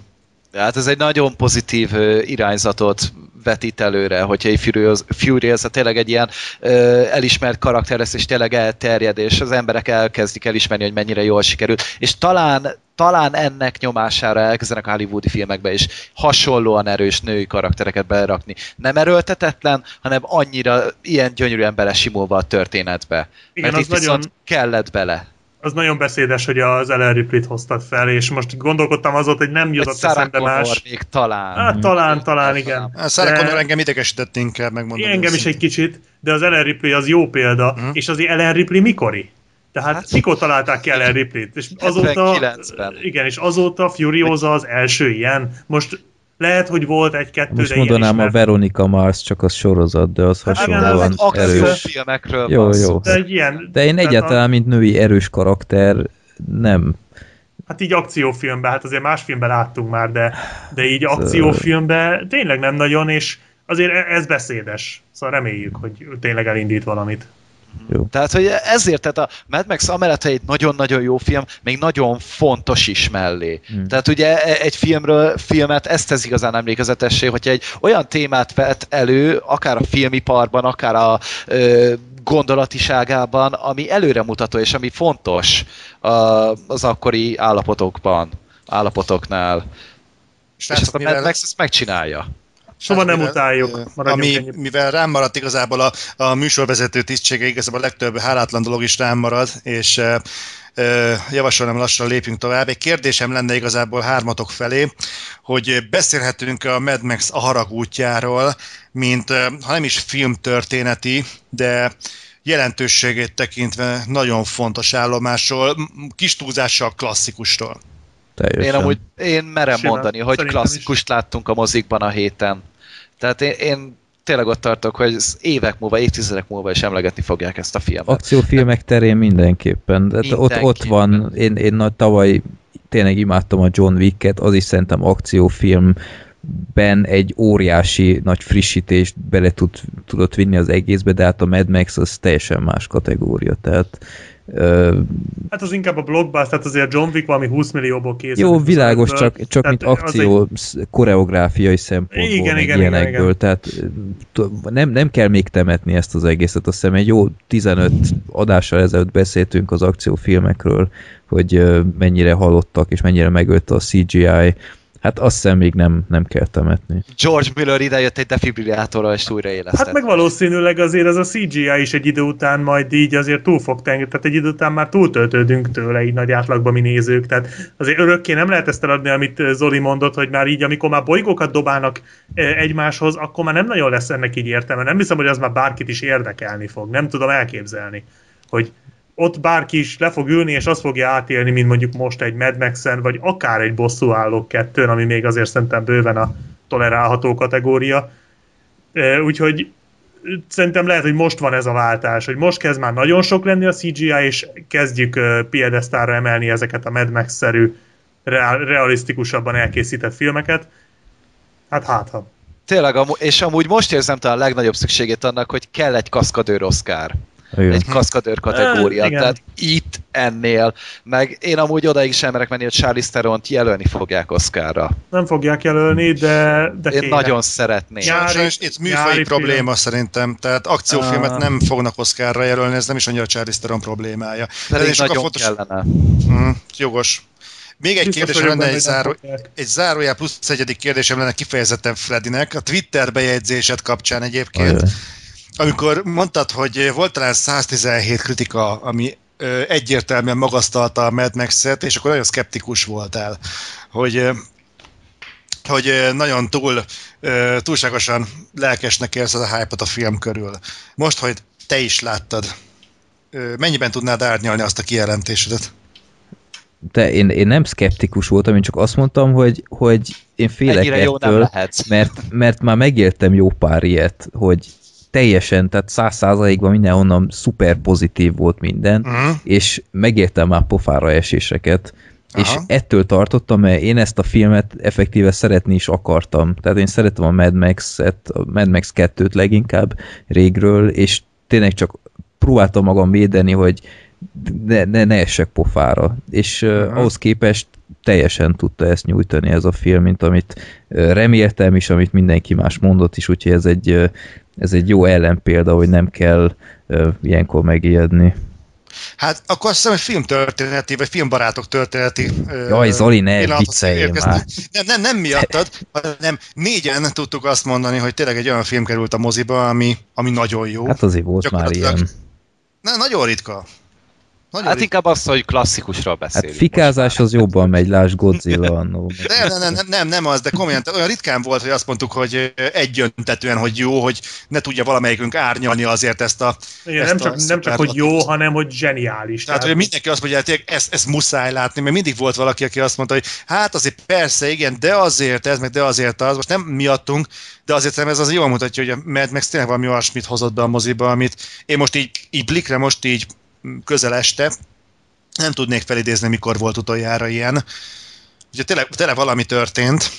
Né- Úgyhogy, nézzétek meg, aki még nézzétek nem meg. látta. És vigyetek el rá mindenkit, csináljunk belőle kassza siker, srácok. És tényleg nem az terjesszétek. egyébként, hát itt most itt néztem az IMDB főoldalán, és ez a borzasztó tökéletes hang kettő, ez Azt ö, láttad? Nem láttam, csak ezt Honnan mondom, tudod, hogy borzasztó? Már bocs. mert, jaj, ne, Black Sheep, ilyen azért. A akapella, címe alapján, Freddy? A akapella, címe ö, alapján ítélsz? igen. Nem, az a baj, hogy már előzetes is kellett látnom ebből mozi, mozi előzeteseknél. Ú, de szörnyűnek tűnik ez a... És 70 milliót kaszált az első hétvégén, míg a Mad Max csak 45 és felett. Tehát azért... Jó, ez a jó filmeknek a keresztje, tehát szarfilmet gyártani sokkal-sokkal kifizetődőbb, mint jó filmet az elmúlt tíz Nem évben. tudom, én azért örültem volna, ez is legalább egy, egy 60-80-at tud kaszálni, mert így, jó, nyilván most is lesz második része, mert már láttam is, hogy meg is lett Wasteland lesz hirdetve. a címe talán, azt hiszem, tehát így azt mondták, de um, az Pitch Perfectnél így, nem, én nem bírom De- magam rávenni arra a filmre például, és nem Egyébként az a vicc, hogy itt úgy tűnhet, hogy védem, de én láttam az elsőt, és csak nem egy nagy vasszizdasz, tehát mondjuk nem rossz, de nem nagy cucc. De figyelj, ez a- ugyanaz a kategória, mint a Step Up, meg ezek, hogy... Tehát Nem, én, nem, én, nem, nem, nem, nem. annál sokkal jobb. Igen, biztos. Sokkal, annál sokkal magasabb Hát van, benne van. Anna Kendrick, hát attól már csak jó lehet. Jó, meg Hát az a nem Dagi csaj, a- aki, aki állandóan csak azért raknak be, mert Dagi, és utána... Jó, hát persze van, nem, azt, nem, Ez a nem, nem Melissa egy nagy... Na jó, srácok, most, hogy a Mad Max-ről beszéltünk, és eljutottunk a legaljáig, annyit- szerintem tartsunk, igen? Még annyit akartam, bocsi, hogy ö, ugye nem véletlen így a, a nem lett nagy kassza siker, hogy nem véletlen emlegettük a az Edge of Tomorrow-t itt az előbb is, hogy az se volt egy nagy kassza siker, de mégis milyen kurva jó film volt. És ha már tökös női főszereplőkről beszélünk, az Edge of Tomorrow-t csak úgy említsük meg, mert az kurva jó volt. Jó, csak annak nem is volt úgymond olyan tétje, hogy, hogy lesz-e folytatás, vagy nem. Míg a Mad Max-nél azért ö, De most kell a- ez. Ja, hogy a, azért gondolsz a pénzügyi. Igen, igen. Hát igen, csak hogy ez a keresztje az Hogy nyilván be fogja hozni a, a büdzséjét maximálisan, de Fura, mert, bocsánat, fura, mert hogy a, az Edge of Tomorrow-nál szerintem a női főszereplő az ugyanolyan kidolgozatlan volt, mint mondjuk a, régi, a, a minden más filmnél, csak ott egy rideg női karaktert kaptunk. Tehát igazából Jó, hát nem volt olyan jó, mint Furiosa, de szerintem emlékezetes volt. szerintem is jó volt. Ja, te, teljesen jó volt szerintem ez a karakter, ez jó is volt előadva, nagyon jó normális interakciók voltak vele, és tényleg szerepe volt a történetben, és fontos volt. Hát nem csak az volt, hogy oldalborda, aki, akit Ja. meg kell védeni. Mint azt Meg majd látjuk. mást is meg kell vele csinálni. Ja. Tehát Ja, Istenem. Mindegy, Akkor menjünk át egy másik Azért női- örüljünk, hogy vannak ilyenek. Ha már úgyis a megcsinálásról beszélünk, akkor beszélünk a szexmasináról. Jaj. Az ex-masináról, vagy machináról, masináról. Machina. Machina. Machina, ex-machináról. Ami ez a film Na, ami ö- elkerült a magyar mozikat. Ö, Bocsánat, egy kérdés előtte mindenki látta? Nem, Igen. Én, Te Freddy, nem nem láttad? sajnos. Gergő se látta. Én láttam. Black Sheep, te miért nem nézted meg? Én megnéztem. Jó, Az-e? akkor jó, Gergő Black Sheep látta, én láttam, akkor Freddy, te beszélj nem volt. Jó, akkor viszont az, a Mad Max-et Gergő vezette fel, akkor Black Sheep mesél az Ex Machináról. Az Ex Machina az egy science fiction, mégpedig egy mesterséges intelligenciáról szóló science fiction, és egy kamaradarab, hogy így ezt mondhassam, és akkor mindenki így jön. Szóval egy, arról szól a film, hogy egy ö, tudós, vagy hát inkább programozó meghív a vidéki birtokára egy ö, fiatal srácot, aki szintén programozó, és ö, hát tulajdonképpen egy ilyen sorsoláson nyerte ezt a meghívást, E, és be, azért hívja meg egy kerek hétre ezt a srácot, hogy egy mesterséges intelligenciát, egy női testbe ültetett mesterséges intelligenciát leteszteljen ezen a vagy hát ez a srác leteszteli ezt a mes- mesterséges intelligenciát, amit Turing ez a tesztet. Turing tesztet, amit ez a fickó alkotott. Ez a Turing teszt, ez tulajdonképpen úgy néz ki, hogy egy mesterséges intelligenciával beszélget a teszt alanya úgy, illetve hát tulajdonképpen az intelligent, a mesterséges intelligencia a teszt alanya, de hát most tesztalany, az ugye most beszéljünk az emberről, mint tesztalanyról,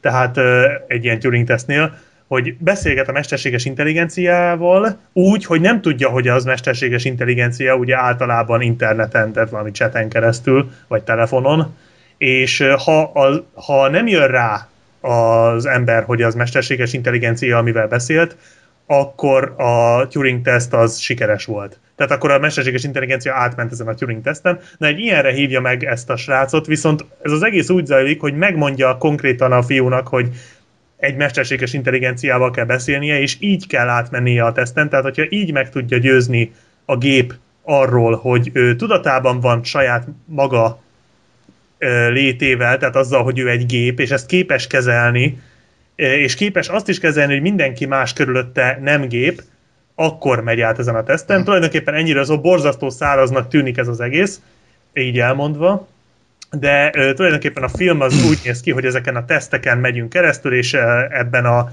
ö, kis vidéki házikóban, illetve hát gyakorlatilag ilyen laboratóriumszerű valamiben, ö, létesítményben ö, ezek a karakterek egymással beszélgetnek, és hát így fokozatosan ö, egyre több fordulat és mindenféle érdekes dolog kiderül, hogy aztán a végén egy ilyen nagyon nagy ö, csavarban az egész így ö, beteljesedjen, vagy hogy mondjam, nem akarok nagyon többet mondani, mert szerintem kár lenne, tehát egy, A sztoriról ne, arról ne beszéljünk. igen, kár lenne egy spoilerrel, egy-két spoilerrel elrontani. Egy nagyon érdekes film, szerintem nagyon sokat merített Isaac Asimov regényeiből, és öm, ja, tökre tetszett. Hát szerintem ez egy olyan science fiction film, ahol a science olyan hatalmas ö, fókuszt kap, tehát hogy té- tényleg nem csak a fikció volt benne előtérve té- rakva, mint a mostani látványfilm, tényleg ilyen tudományos szempontokból közelítették meg, hogy hogyan működik az ember, hogy, hogy ö, miképpen hasonlít mondjuk egy Google-szerű kereső motorhoz az ember, uh-huh. és hogy hogyan lehet ezt átfordítani egy viselkedésbe, meg ö, nagyon tetszettek a magyarázatok, tudod, a hasonlatok, amiket felhoztak Igen. ilyen bizonyos Igen. esetekre, az Hát ez iszonyatosan olyan volt- kreatívan volt megírva. Olyan volt, mint az Interstellárban, hogy itt képesek voltak ezeket a dolgokat, amik általában teljesen érthetetlenek, képesek voltak ö, átírni egy olyan nyelvezetre, amit teljes mértékben érthető és felfogható és követhető.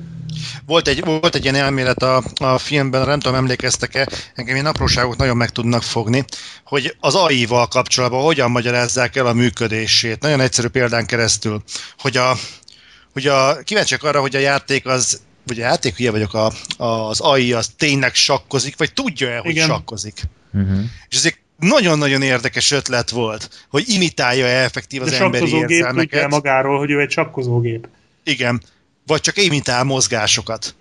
És nagyon érdekes innentől kezdve az AI, hogy, hogy próbáld visszafejteni, hogy csak tudja-e, hogy hogyan kell imitálni egy mosolyt, egy érzelmet, egy szerelmet, egy csalódást, vagy haragot, vagy tényleg képes ezeket az érzelmeket elsajátítani, és tényleg érezni őket. Igen, és ugye, És amikor, igazából ez- és, és ugye tovább fokozzák azzal, hogy ha képes elsajátítani, akkor képes ezeket imitálni úgy, hogy elsajátította. Tehát, hogy mint ahogy egy ember is, hát képesek vagyunk imitálni azt, hogy szeretünk valakit, holott közben utáljuk, mint a szart.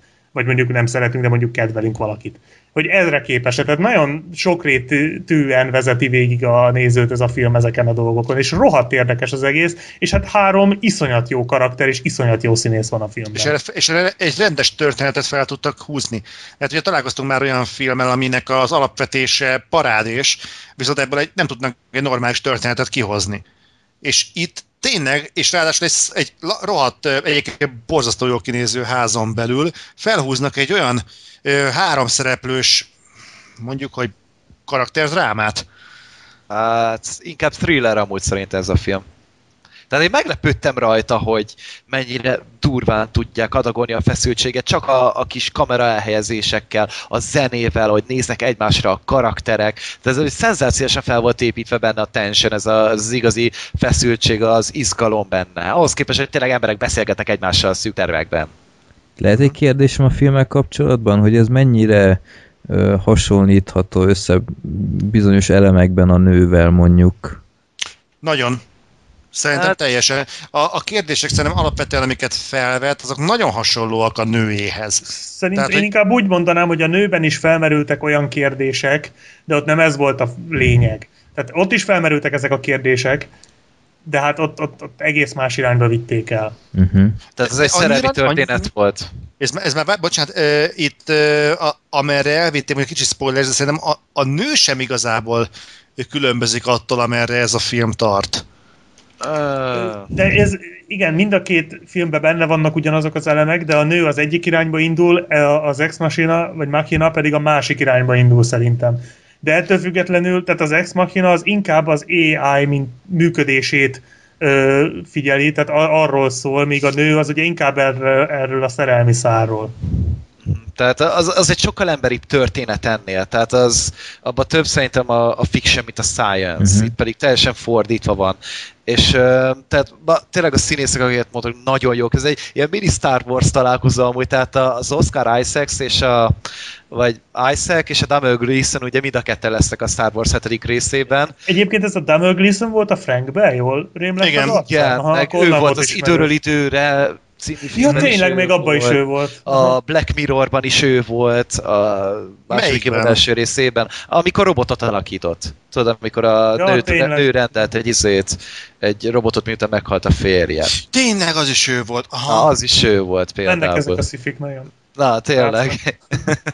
Tehát a Black Mirror az egy, sorozatokon belül is egy teljesen egyedi kategória. Hát Hát Ezúttal igen. is még egyszer köszönöm eh, Gergő az ajánlást, mert eh, magamtól nem találtam volna meg. Nagyon szívesen, de hát ott legalább uh, ott abban is voltam, hogy tényleg egy hasonló történet volt szerintem egy picit, de ez inkább az a nőhöz hasonlított. Ha. De itt viszont ennél a filmnél ugye egyrészt a befejezés szerintem nagyon jó. És a film többi része is ugye nem túl hosszú, egy, én azt hittem, hogy minimum két és fél órás lesz, vagy két órás, ahhoz képest pedig egy ilyen 140 perces kis. Vagy 140? 100 Hülye vagyok, perces. egy óra 40 perces dolog ö, alakul ki belőle, és ö, ugye egy első filmes rendezővel van dolgunk, ugye az Alex Garland, aki már egy korábban emlegetett filmekhez adott forgatókönyvet, mint a 28 nappal később, a Napfény, vagy a Dread Bureau-t is ő írt, ami ugye a maga kategóriáján belül szerint egy remekül sikerű történet volt. És ö, ez volt az első rendezése, és hatal, nagyon nagy szakértelmről ár- árulkodik szerintem ez a film. Nagyon profin van összehozva az egész. Tényleg annyira jól vannak elhelyezve egymáshoz képest a dolgok, a, a menete a filmnek, az egésznek a szerkezet, az összeállítása. Igen, jó az a fölépítés ezekkel a tesztekkel, hogy mindig Igen. van egy törés, és olyan jól vannak ezek föl ö, dobva, tehát amikor éppen egy kicsit kezdenéd azt mondani, hogy ó, jó van, vágom, hogy mi lesz, akkor bedobnak egy következő tesztet, és túl tovább csavarják az egészet, és nagyon tetszett, hogy majdnem elcseszték egy, egy ilyen nagyon gyenge fordulattal ott a háromnegyedénél, a tükörnél. Nem tudom, az megvan-e. Igen, tudom, mire gondolsz. És úgy, annyira féltem, hogy ú, csak ez ne legyen, mert az annyira gagyi lenne. Vagy nem, nem, nem is az, hogy gagyi, de ez, ez csak a második vagy harmadik legjobb fordulat lenne, amit ide kitalálhattak. Ó, de örültem, hogy nem. Úgyhogy végül is a, a befejezés az, az nagyon parádés volt.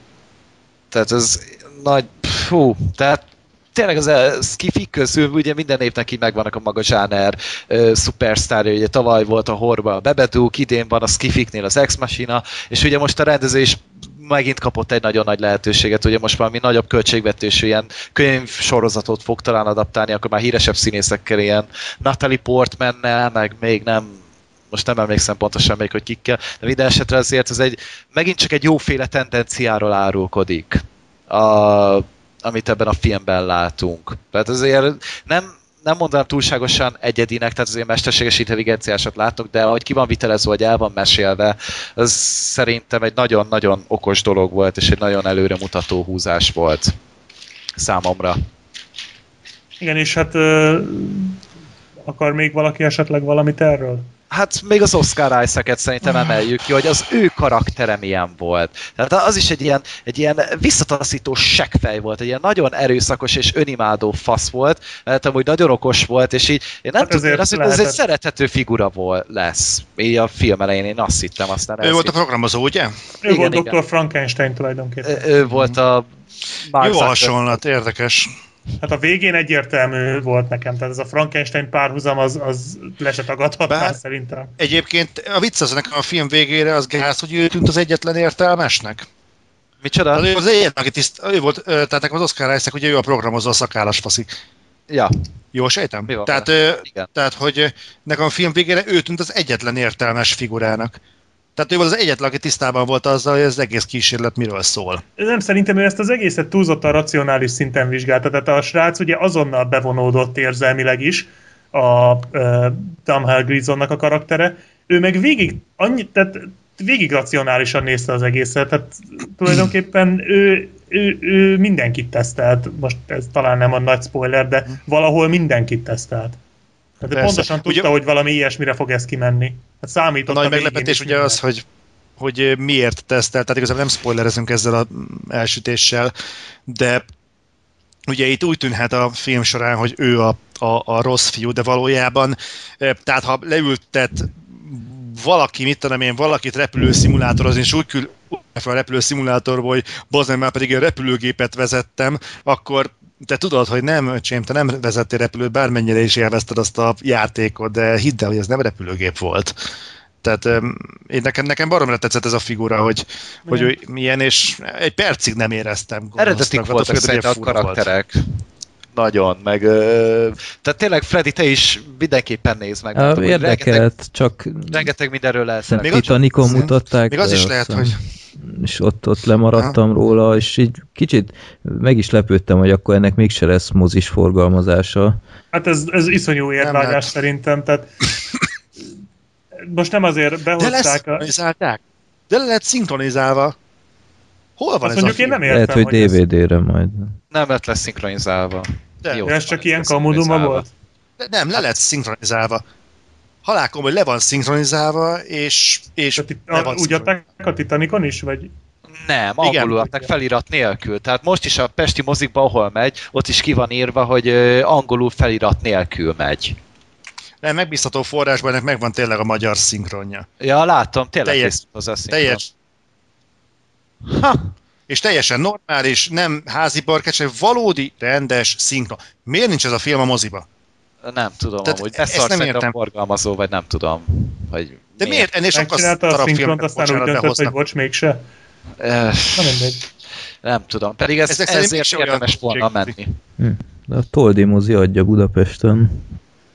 Május 29-én 18 órakor. Hát az jövő hét péntek szerintem. Az. Hát. Addig kimegy a film, barátok? Hát p- persze. Jó. Ha esetleg szeretnétek velem egy- találkozni, akkor jó eséllyel ott lehet majd. Jó. Lett volna ide egy jó átvezetésem, de akkor elszpoilerezném a film végét, úgyhogy csak bízatok bennem és igyatok. Mi Toldi? Nem, a filmhez. Jó. Na hát mindenképp Jó, akkor, érdekesnek hangzott. Freddy, mindenképpen nézed Mhm. meg, mert reméljük, hogy ez lesz a második olyan film, ami, ami kollektíve egyértelműen, egyöntetően közös megértésre talál. De szerintem Jó, ez lesz egyébként a egy, negyedik. egy, egy kommentre hadd hívjam fel a figyelmet, valahol olvastam Expasina kapcsán, hogy én skifi rajongó vagyok, hangsúlyozom, én skifi rajongó vagyok, de ennél rosszabb filmet még nem láttam, folyamatosan tekernem kellett, hogy végig tudjam nézni. Uh-huh. Ez a kedvenc. Nézze meg a hasadást, üzenem neki. Ja. Nem, komolyan, hatalmas szakadék van egyébként a szerintem mostanában a között, amit régen skifinek hívtak meg, amit ma skifinek hívnak. Hát ez az igazi old school skifi szerintem. Tehát ez, ez minden Igen. szempontból. Hát csak a, a modernebb az egy, van.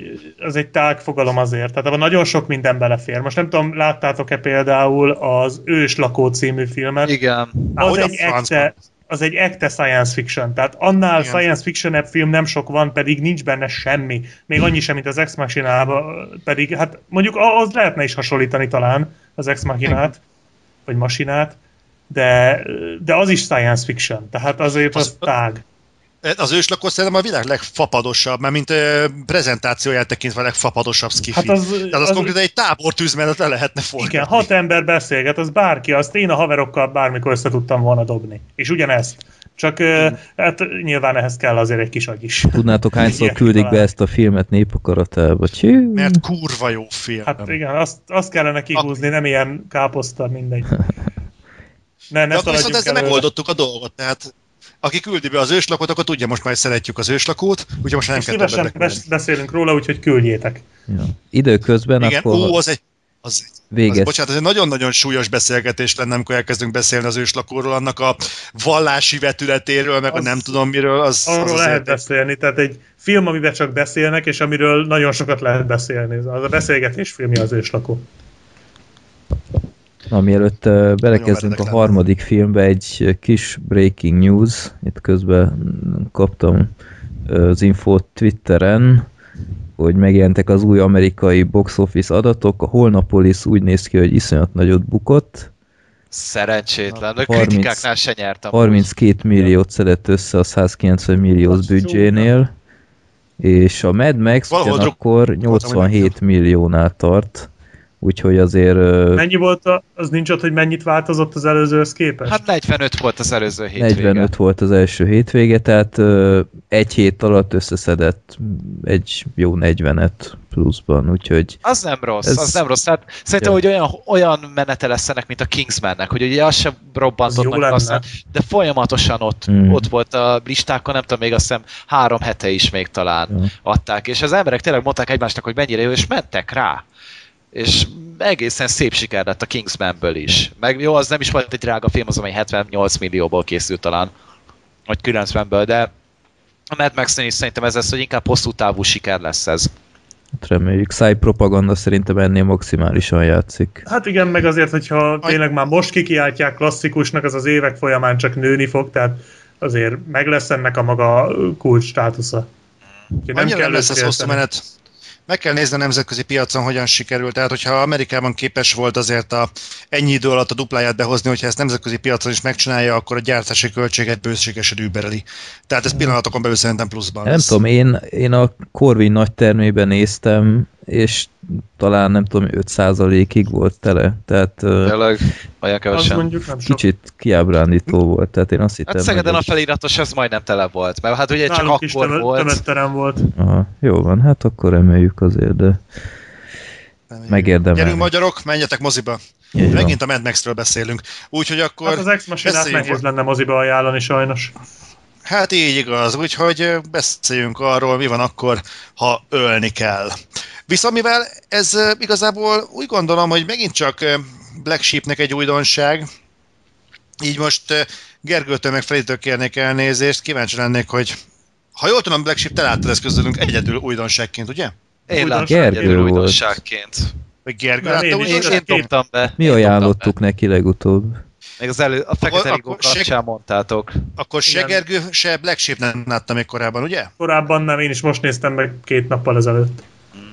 Vagy Csak három. Gergő, te se láttad, ugye? Hát ja, így most Gergő. volt hozzá Jó, Úgyhogy. Gergő, tiéd a pálya. Enyém a Igen, pálya? akkor Gergő, tiéd a pálya, akkor beszélj arról, ha ölni kell. Aha. Rögtön bele is kezdek, hogy ez egy 96-os film, hogy Jo- Joel Schumacher rendezte, hát róla így voltak Róla külön pár- adást lehetne csinálni, maradjunk annyiban.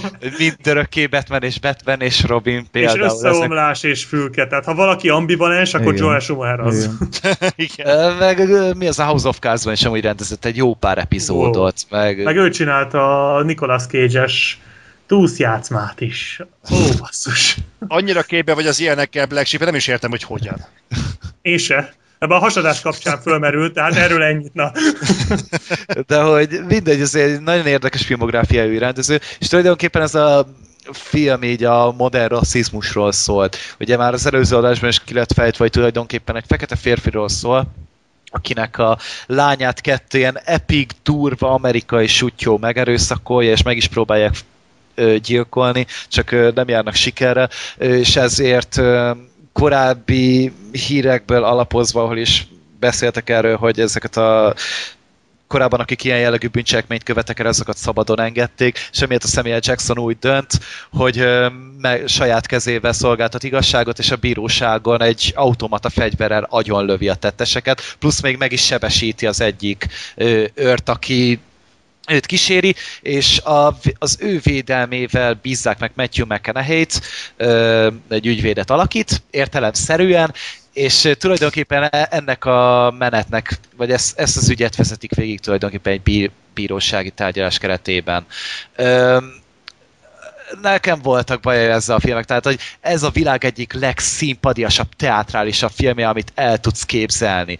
De komolyan mondom, hogy minden egyes nitre jutott legalább kettő könnyes szemű statiszta, és mindenféle dramaturgiai eszköz beled nyomnak, amit amit már agyonjáratok. Mit e- megölnek embereket, agyonvernek embereket, elrabolnak embereket, ö, Jó, azért tegyed csinál- hozzá, hogy ez, fel akarnak robbantani embereket, mit, tehát minden benne van ez, ez milyen korban játszódik, azért tedd hozzá, hogy ez Én nem... nem tudom, milyen korban Hát ez az játszódik. 50-es években kb., ahol ez még, még jóval nagyobb és veszélyesebb téma volt, tehát azért láthatod, hogy ott a... a Nem egy modernebb dolog volt ez. nem.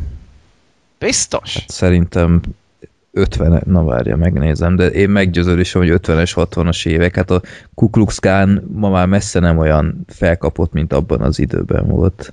Hát az persze, de én amúgy ezért is csodálkozom, hogy Ku Klux Klános film nem is nagyon van. Tehát így amennyire én először a Django-ba volt, de még Hát azt az sem égő mondták ki, ugye? Mississippi, Én azt nem láttam, de komolyan ezen gondolkozom, hogy ennyire érzékeny téma, hogy erről még filmet se lehet csinálni. Tehát, hogy... Amerikában igen. De Amerikában tényleg. az.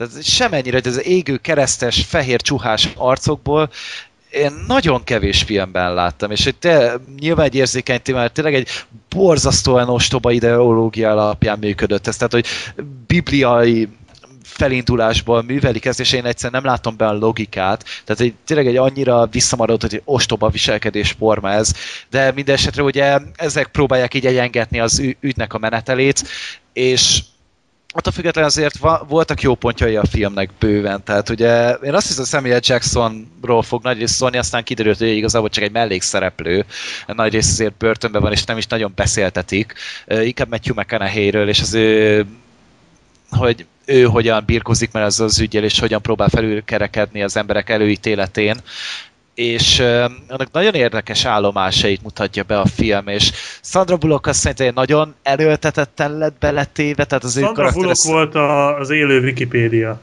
Tehát, hogy én, én, ne, én nem tudom, tehát, hogy lett volna akkor wifi elérés, vagy 3G, akkor simán ki lehetett volna hagyni a filmből, és úgy a 20 milliós gázsiát is megspórolják akkor, mert tényleg hatalmas pénzeket összedett azért a filmért, és a, nagyon hosszú a film amúgy. Tehát két és fél órás, de mondjuk annyira unalmasnak nem hat, tehát azért mindig történik valami és mennek, és amúgy nagyon érdekes volt az ügynek a kapcsán, hogy igazából ez nem is már ilyen személyes dolog volt, hanem egy politikai, egy ö, eszmei kérdést csináltak, és tényleg már ilyen politikai aktivisták meg ö, érdekvédelmi szervezetek folytak bele, és próbálták hozzáadni a nevüket, és hogy, hogy ebből is ilyen PR dolgot csináljanak, hogy még az ő nevüket reklámozzák magat, reklámozzák vele, és benne volt ebben a filmben Kevin Spacey, aki szintén meglepően keveset szerepelt, és meglepően Kevin Spacey is karaktert hozott, tehát semmi extrát nem nyújtott szerintem, hogy a filmbe. És ugye kiemeltétek az előző adásban, hogy volt a vége egy nagyon erős záró beszéd, és így bet is a filmbe, és így, ah, jó, ez nem rossz. Aztán az, az utolsó egy mondattal, amit oda szúrt a végére Matthew McConaughey. Na, azzal tényleg azt mondta, hogy na, ez valami. Mm. Az rám is nagy hatással volt. Az Tehát tényleg a erős volt. beszéd maga ilyen jó meg, jó meg van írva, meg hát persze kicsit érzelgős, de hát ugye ez is volt vele a cél. De Csak ne tényleg, spoilerezzétek el, kérlek. de hogy Isten őriz, és amikor jött ez az utolsó mondat, az, az úgy egészen új szintre emelte az egész addig elhangzottakat, szóval az tényleg nagyon kemény volt, és abszolút nem számítottam rá, hogy, hogy ez lesz. hogy ezt Hogy még ja. így hozzádobják. És tehát nem egy, nem egy rossz film, csak engem nagyon ki tudott dobni ez a szimpadiassága a filmnek. Vagy az elő volt adva. Az fura, mert nekem nem, ne, igaz, hogy nem most láttam, bár megrendeltem most DVD-n, hogy legutóbb áradoztunk róla, de nekem nem voltak ilyen emlékeim, hogy kifejezetten szimpadias lett volna. Mm, Ez nem, nekem, nem, ez nekem se volt. Nekem, amivel egyetértek, az a hossz. Tehát tény, hogy egy kicsit hosszú volt, meg a Sandra Bullock. De nekem ez a kettő negatívum volt benne, hogy Hmm. tényleg két órába is meg lehetett volna ezt csinálni. A Sandra Bullocknak minden jelenete totál fölösleges volt, szóval az nagyon húzta az Ja. időt. Meg hát ott voltak a Sutherlandék, Kiefer Sutherlandnek marha jól állt a Hát igen, őrült igen, hát neki nagyon... Ja. ő ezt jól nyomtam régebben is, meg mostanában is, de Ja. Hát nem tudom. Az izgalmas volt szerintem végig. Tehát, Izgalmas, erős témája volt, Ja. és hát a színészgárda az fantasztikus, Igen. tehát nagyon-nagyon jó. A mellékszerepekben is, hát itt van például Chris Cooper, szerintem ő volt az egyik legjobb. Talán egy Na vagy igen, két és jelenete így volt. azt hitt, hogy ilyen főszereplő lesz, aztán így lol, alig vagy benne. Igen. De mind, a, neki is volt egy nagyon érdekes jelte a filmben, amikor ö, ugye ott a bíróságon előadta a tanúvallomását, tehát azért tényleg voltak benne nagyon érdekes részek, meg Matthew McConaughey így még a, a, a zuhanása előtt volt, és még egészen jól alakított. Tehát ez így nem időközben tanult meg színészkedni, csak egy parkolópályára tette addig magát, szerintem még összeszedte a lóvét a romantikus vígjátékokból. Átadta a helyet a felső testének. Hát, Na, ja. Most pár éved van, tessék.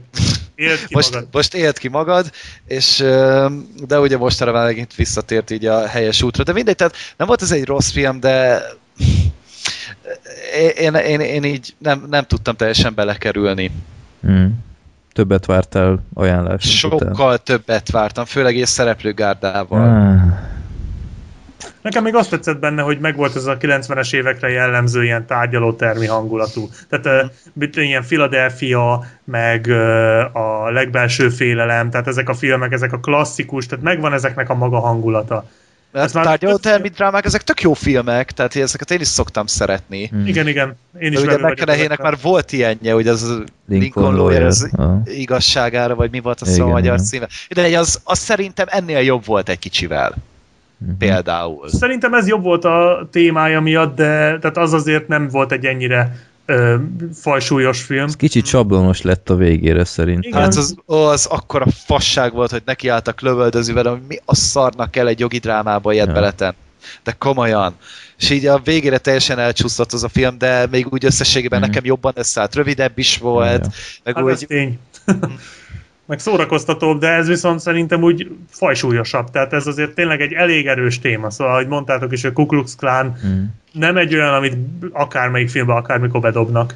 Szóval jó volt. Igazából én sem mondom, hogy mestermű, de meg, meg talán még a befejezés egy kicsit nem az igazi, nem rossz, csak, de nem akarom elszpoilerezni, tehát nem rossz, csak nem az igazi. Ott lehetett volna egy kicsit, kicsit árnyaltabb a dolog, de, de egy nagyon erős film ettől függetlenül. Én amúgy úgy éreztem, hogy ez, ez ilyen, ez ilyen régi csinálják ilyen bosszú hadjárat, mint a Pestelen Brigantikban. Igen, Ó, olyan csak komolyabban véve. Igen, ez a, tehát ez a, ez a bocsánatkérő film. Igen. Mm. meg ez a saját lelkünk megváltása, de ab, azok közül egyértelműen egy minőségi darab, tehát nem egy, vannak azért ebben nagyon borzalmasabb ö, dolgok is, meg nyálasabbak, tehát gondolok itt például a farkasokkal táncolóra, az is egy ilyen, csak az az indiánokról. Jó, az se rossz film, de hát azért az nagyon nyálas, tehát ez azért annyira nem vészes. Kicsit megszólítva érzem magam, mert ugye én voltam az, aki nagyon ö, ágáltam a Fekete Rigó kapcsán a, a ha ölni kell mellett. Van olyan, hogy ágálunk valami mellett? Vagy csak ellene? Igen, van, van. Mindegy. Jó, oké. Tehát korteskedtem mellette, és az a gond, hogy nincsen konkrétan előttem. Tehát azért mondtam ezt a ha ölni kelt, mert hogy nekem vannak konkrét jelenetek, amik ö, beleégtek a, a, Igen. az emlékezetembe. Tehát konkrétan az, amikor a, a, a fazon erőszakolja a kislányt, És és fölötte, fölötte van, és a kislány az a sétát, ezek nagyon-nagyon erős jelenetek, és a végén ugye a Matthew McConaughey-nek a beszéde, főleg az utolsó mondat. Meg a végén az, Az, az utca, ahogy várja az ítéletet, nekem az maradt meg nagyon. Az, az nekem nincs meg, megmondom őszintén. De, de viszont, de lehet, hogy megvan egyébként, csak más filmhez kötöm, nem tudom, lehet, hogy megnézném újra, akkor tudom, hogy ja, ehhez tartozik. De viszont viszont nekem ezért volt ma, nagyon maradandó, mert tényleg egy-két emléket meg tudod hagyni belőle. Ja, meg amikor a Samuel. Jackson kiront a gardróbból, Mhm. mm-hmm. a francból. Tehát azok azért úgy, úgy megvannak. Igazából szerintem, ha ölni kell, ne bántsátok a fekete rigót páros, az élő bizonyíték arra, hogy le, a filmhez igenis kellenek a hatásvadász elemek. De kell az, hogy tényleg az ember bele tudja élni magát. Nem elég az, hogyha csak, csak elmesélünk egy történetet. Tehát kell az, ami kimozdítja az embert Hát jó, a komfortzónájából. az fontos szerintem. És itt a filmnél a mértéket nem ismerték szerintem. Tehát nem baj, hogyha egy kicsit azért el lehet érzékenyülni rajta, vagy valami, de hogy amikor minden egyes jelent ilyennel van tele, az, az nekem sok. Mm. És Ez ebben már nincsen előttem. Lehet, hogy így van, biztos, hogy így van egyébként, csak mondom, hogy nekem ez már kihalt. De majd újra fogom nézni alkalmasint, mert azt, hogy nem látta, de, de, de készséggel hiszem, hogy így van. Mondom, nekem ez, ez viszont nem maradt meg. Lehet, hogy egyébként egy öt év múlva, amikor beszélünk majd róla, Gergő benned sem fog megmaradni. Lehet amúgy. Na, akkor apropó, Jó, hát így, tárgyaló. így jár, aki szelet vet. igen. és, még, és még nem a káposztalevesnél tartunk a szél kapcsán. Ajaj. Ö, Viszont mivel Freddy, te vetetted ezt fel, feltételezem, hogy te vagy az, aki szelet vet. Igen, én, én erőszeretettel vetek szelet, és nagyon ajánlom nektek ezt a filmet, ha már főképp mondtátok is, hogy szeretitek a tárgyalótermi filmeket, mert ez is olyan, és egy külföldi filmes sorozat kapcsán ajánlották ezt a filmet, és gondoltam, megnéztem, és láttam, hogy Spencer Tracy a, főszereplő benne, és nem tudom, és, és eszembe jutott basszus, hogy Spencer Tracy egy hatalmas színész, egy, egy, egy óriási filmlegendának kéne lenni, és ahhoz képest így komolyan szerintem évek teltek el, hogy nem hallottam Spencer Tracy nevét, ami így kifejezetten elkeserítő, mert, mert Humphrey Bogartba re- rendszeresen belebotlik az ember. De azt vágod, hogy azért, mert Spencer Tracy meghalt. Hát persze, hogy vágom, de Bogárt is meghalt. Bogart is meghalt. Tudom. Chaplin is meghalt már, Zoli. Mondjuk aki, mondjuk, aki rendszeresen újra nézi a Brian életét, annak Spencer Tracy az így nem ismeretlen. Bocs, nekem Bocsánat, mindig a Brian igen. élete jut eszembe. Vettem észre. Spencer Tracy. most úgy jött nekem szeretnék mondani, hogy hol van Spencer Tracy? Már régóta nem hallottam róla. Ja, de, de Bocsánat. tényleg sajnálom, mert, mert szerintem egy óriási színész, és, és, és kicsit most e- emiatt is próbálom egy felevi, felelevin, feleleveníteni a nevét, hogy, hogy az emberek megismerjék, mert megérdemelné. És ez egy 1960-as film, aminek egy rendkívül érdekes története van. Nevezetesen a 20-as években járunk egy amerikai kisvárosban, ahol elég magas a, a vallásosok aránya, tehát egy, egy úgymond ilyen, ilyen katolikus főhadiszállás, és ott az egyik tanár az iskolában úgy gondolja, hogy, hogy most biológia órán a darwini evolúciós elméletet tanítja az embereknek, vagy gyerekeknek. És hirtelen megjelenik a város polgármestere, meg stb., akik nyilván már tudták előre, még egy fényképező gépet is hozatnak, és lefotózzák azt a pillanatot, amikor lecsukatják ezt a tanárt, ugyanis abban az államban van egy olyan törvény, hogy nem szabad semmiféle olyan olyan kijelentéseket tenni, ami ellentmond az isteni teremtés elméletnek. És akkor ö, itt most egy nagyon izgalmas tárgyalás lesz, úgymond, hogy, hogy ö, egyfelől bűnös, törvény szerint bűnös ez az ember, de ugyanakkor, hogy nem tehát lehet-e az alapján valakit is elítélni, hogy tovább gondolkodik, és, hmm. és, és próbálja a spektrumát tágítani, ami akkoriban a darwini fajelmélettel azért maximálisan igaz arra az időkre, és ez egy, ez egy nagy polgárpukkasztás volt, úgymond, hogy nincs olyan, hogy darwini elmélet, stb. Mi az, hogy majmokból keletkezünk, ne sértegesd az úr munkáját, stb. És akkor ebből áll az egész, hogy, hogy az egész város feje tetejére áll, a katolikusok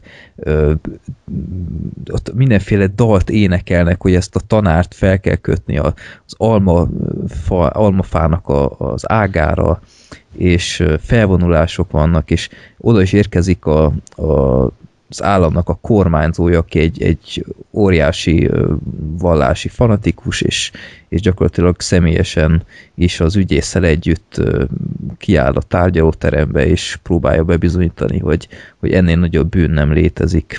És akkor van egy Baltimore-i újságíró, aki lemegy ebbe a kisvárosba, és nem tudom, ki repült most ki, Zoli repült ki a konferenciából. Szokásos. Igen, csak hallottam a Skype hangot, és szól egy Baltimore újságíró, az oda megy, hogy tudósítson erről, és ugyanakkor ő egy ateista, és a az újság az oda rendel, hogy pénzeli ennek a tanárnak az ügyvédét, akit Spencer Tracy alakít, egy óriási ügyvéd legenda, aki ugyanakkor ezzel a kormányzóval együtt már rengeteg közös ügyben tevékenykedett, de most egymás ellen is lesznek.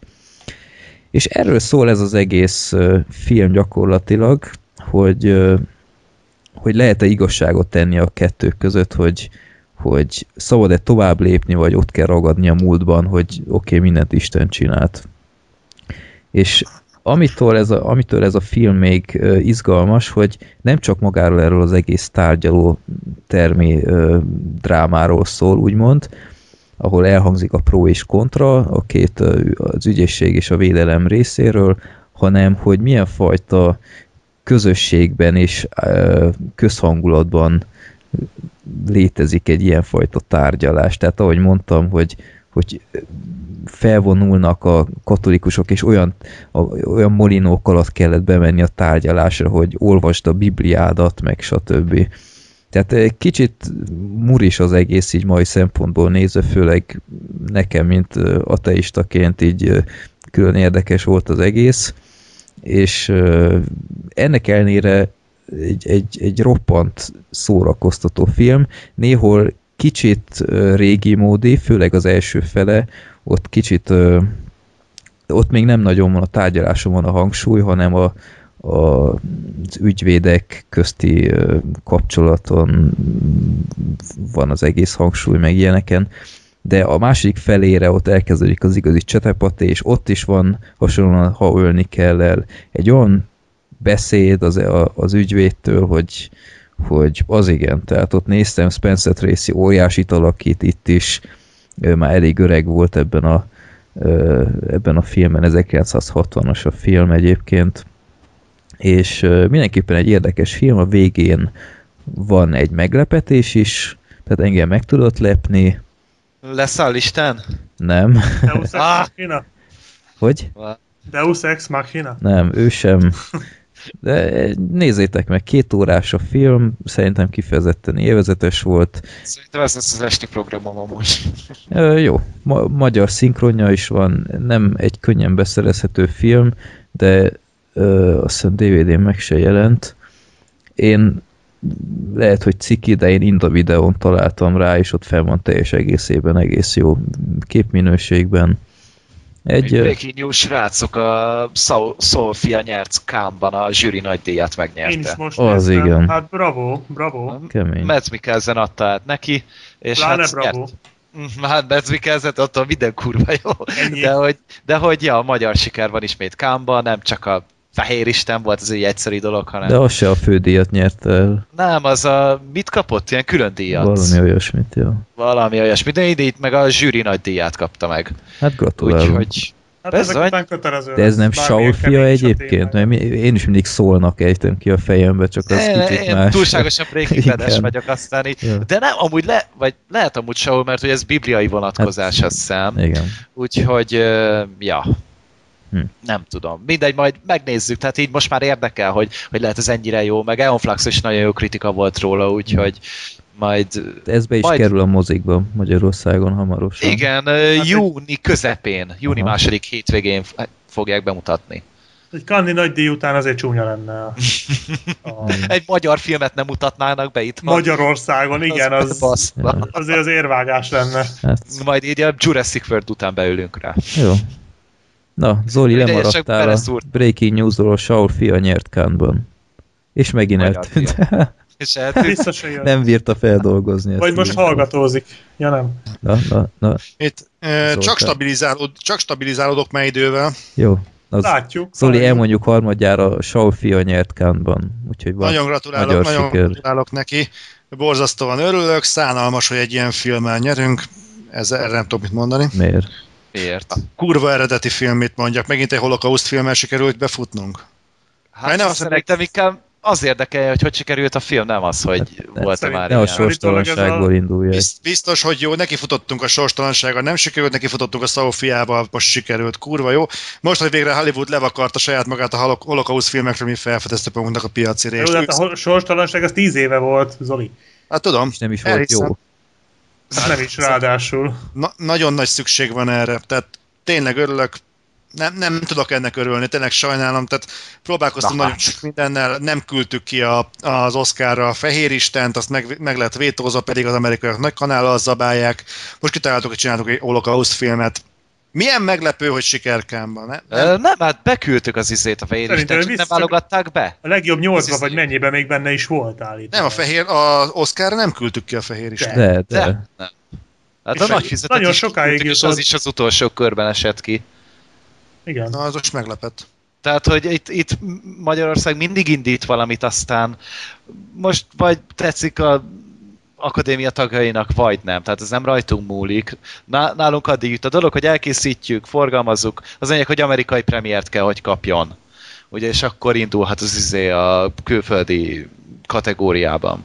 Ja, de ettől függetlenül engem ez a Szavófia nem érdekel. Tehát amennyit hallottam róla, nem hiszem, hogy akkora szükség van rá, hogy most ez jó legyen. Gratulálok tényleg Nemes Lászlónak, hogy ez így eh, fasza lett, Egyébként- és hogy Oké, én is, amikor olvastam a sztoriát, én is azt mondtam, hogy jó, hát ez egy kicsit azért ö, hatásodás, mert, mert nak tűnik, mert holokauszt film, meg így, meg úgy, de azért egy kanni nagy díjat nem dobálnak csak úgy, tehát érted? persze, megértem, megértem, Nézd meg Zoli a gratulálok. filmet, ne ítélkezz a cím alapján. Nem, ja, Nem, a cím az tök jó, csak a téma.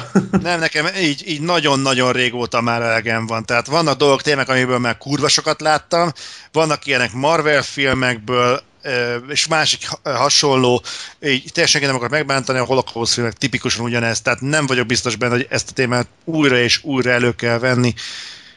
Nem hiszem, hogy szükség van arra, hogy megint egy, egy, egy újabb film előkerüljön, és, és biztos, hogy kurva jó lesz, csak Nem neked.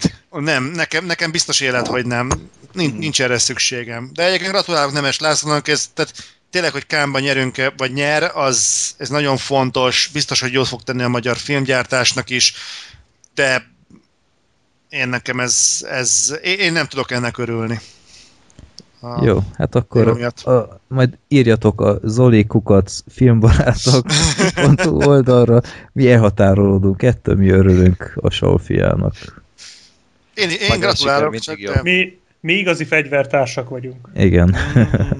Ja, egyébként Aj. Zoli, lemaradtál az előbb, nézd meg a, a Aki Szeretvet című filmet, szerintem neked tetszene. Ö, Ahogy vázolt egyébként, azt mondani is akartam, csak menet közben közbeszólt a technika ördöge. Engem ez érdekel. Jó, szerintem nem fogod megbánni. Na Kicsit, ez meg érdekel, Zoli, a rohadt életbe. Ne, komoly, komolyan, de engem a tárgyaló termidrámák érdekelnek most. Akkor is, ha láttál már 180 De miről beszélsz, Gergő, hogy ez érdekel, beszélek? Miről beszélsz? Jaj, nem baj, semmi, Né- nézzétek meg. Szerintem tetszeni fog Zoli. Kicsit, kicsit régi módi a, a filmnek az első fele, de szerintem így is nagyon Csak ne, csak ne legyen benne ez az 50-es, 60-as évekre jellemző ilyen trombitáló, tülkülő zenei nem, aláfestés. nem, nem. Az csak a gangster filmekben Nem, van. nincs. Nem, az a uh, Fekete Rigóban is benne Egy volt. kicsit a 12 dühös ember stílusát követi. Az bőven jó. Tehát ha Egyébként, fele olyan jó, az is már jobb, mint a Fekete Rigó. egyébként csak egy kis fun fact, én most kezdtem el játszani a The Darkness című játékkal, nem tudom, mond nektek valamit, Zoli, Igen. neked valószínűleg igen. Nagyon És- keveset. Ilyen FPS, és akkor van két ilyen kígyószerű ilyen démon a válladon. vagy mi a szar, Igen, ja. igen. Na mindegy, van benne egy rész, amikor a csajodnak a lakásán tudsz tévét nézni. És hogyha én kipróbáltam, hogy mi van, hogyha ott ülök és nézem a tévét, elindult a, a játékbeli tévén a Ne bántsátok a Fekete Ligó című. Csak így ilyen kis fun fact, hogy így rögtön eszembe jutottál. Mindenhol ott vagyok. E- Ennyi. Na, akkor a fegyvertársakkal készültem még, ami egy olyan film, amit annó tudom, hogy 2003-ban, amikor megjelent, ez egy western, amit Kevin Costner rendezett, és ő is szerepel benne, Robert Duval mellett. Nagyon sok jó kritikát kapott, és mindig is látni akartam, de sose, sose jött össze. Aztán nemrég ment a tévében, és felvettem, és megnéztem, és hát gyerekek, komolyan mondom, én a top 5 westernembe egyből bekerült, ami nem egy kis dolog egy 2003-as filmnél.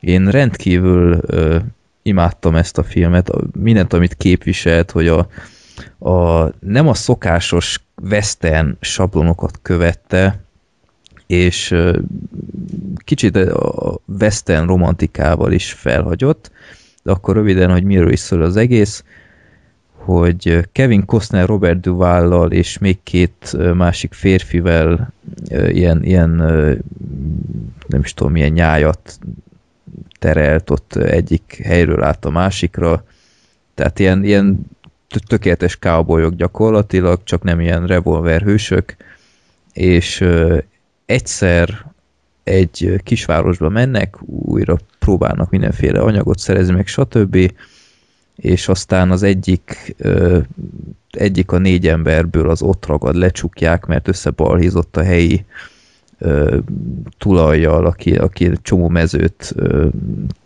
birtokol, és annak az embereivel összetűzésbe keveredett, és akkor oda mennek, hogy tisztázzák, és hát konfliktusba keverednek ezek, ezzel a nagy birtokossal.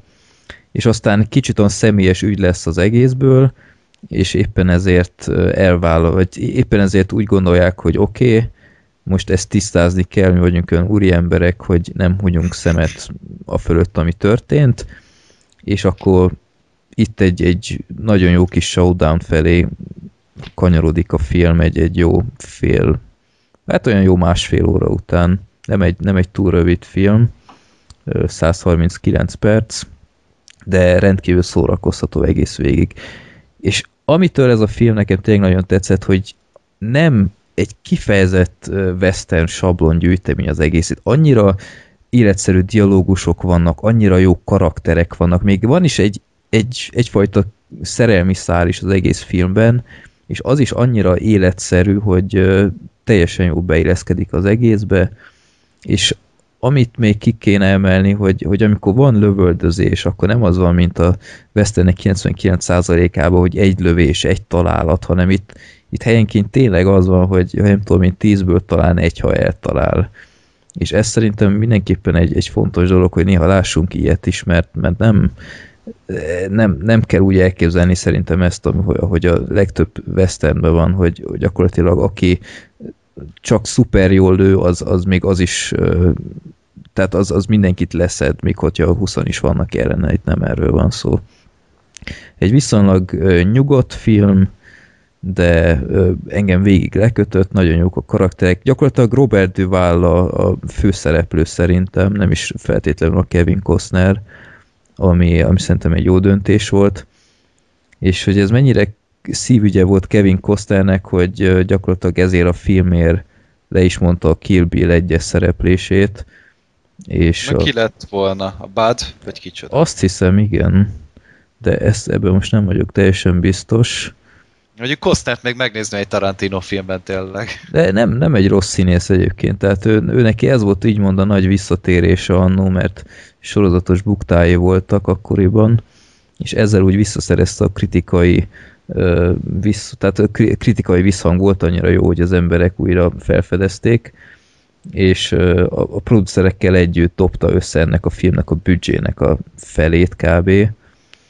És tényleg egy, egy, egy nagyon jó kis western, én nagyon élveztem, amit talán így az egyetlen negatív a filmek kapcsolatban, hogy, hogy van egy nagyon jó finálé, és azután kicsit rövidebbre foghatták volna az, az utó történetet, a, a kicsengést, az egy olyan jó negyed óra, 20 perc még volt, amit szerintem nem kellett volna feltétlenül e, ilyen formában bemutatni, de hát ezek luxus problémák, én tényleg nagyon élveztem, úgyhogy uh, aki szereti a western és főleg az, azt a fajta western ami mondjuk a, a Jesse Jamesben is volt a Brad Pitt-es filmben, hogy, hogy kicsit az a western korszak végét mutatja már be, tehát itt 1880 körül játszódik ez a film, úgyhogy uh, szerintem azoknak ez, ez nagyon tetszene, és uh, ahogy észreveszem, senki nem látta közületek, nem. Hát nem. Én nem, de én tudom melyik film ez, már hallottam róla a jókat, Mhm. uh-huh. jó sok jót. Csak Nem nem ez az a- nem került elém. Nem ez az a film, ahol ott dumálnak a patak partján? Hát ezzel most hát, jól leszünk. Elég tárgy. Bocsánat. és cowboy kalapot hordanak? Igen, igen, kalapban a, ka- Pisztolyuk a volt. Igen, igen, pisztolyuk Jó, volt. rájöttem közben, hogy ez hülyeség volt, amit itt mondtál. Nézi körbeírni. Jó. Az az őslakó volt, ahol dumáltak, tudod? Lehet. Az a dumálós film. Ja, úgyhogy Open Range ez az eredeti címe, én tényleg bátran ajánlom mindenkinek egy, egy nagyon jó kis western. Nem fogjátok megbánni, remélhetően. Hát akkor Open Range mindenkinek, aki szereti a West annak melegen tudjuk ajánlani, legalábbis Freddy D, mi pótolni fogjuk, legalábbis igyekszünk, mondjuk Gergő nagyon lelkesen erre lenne. Legalábbis egyszer majd talán.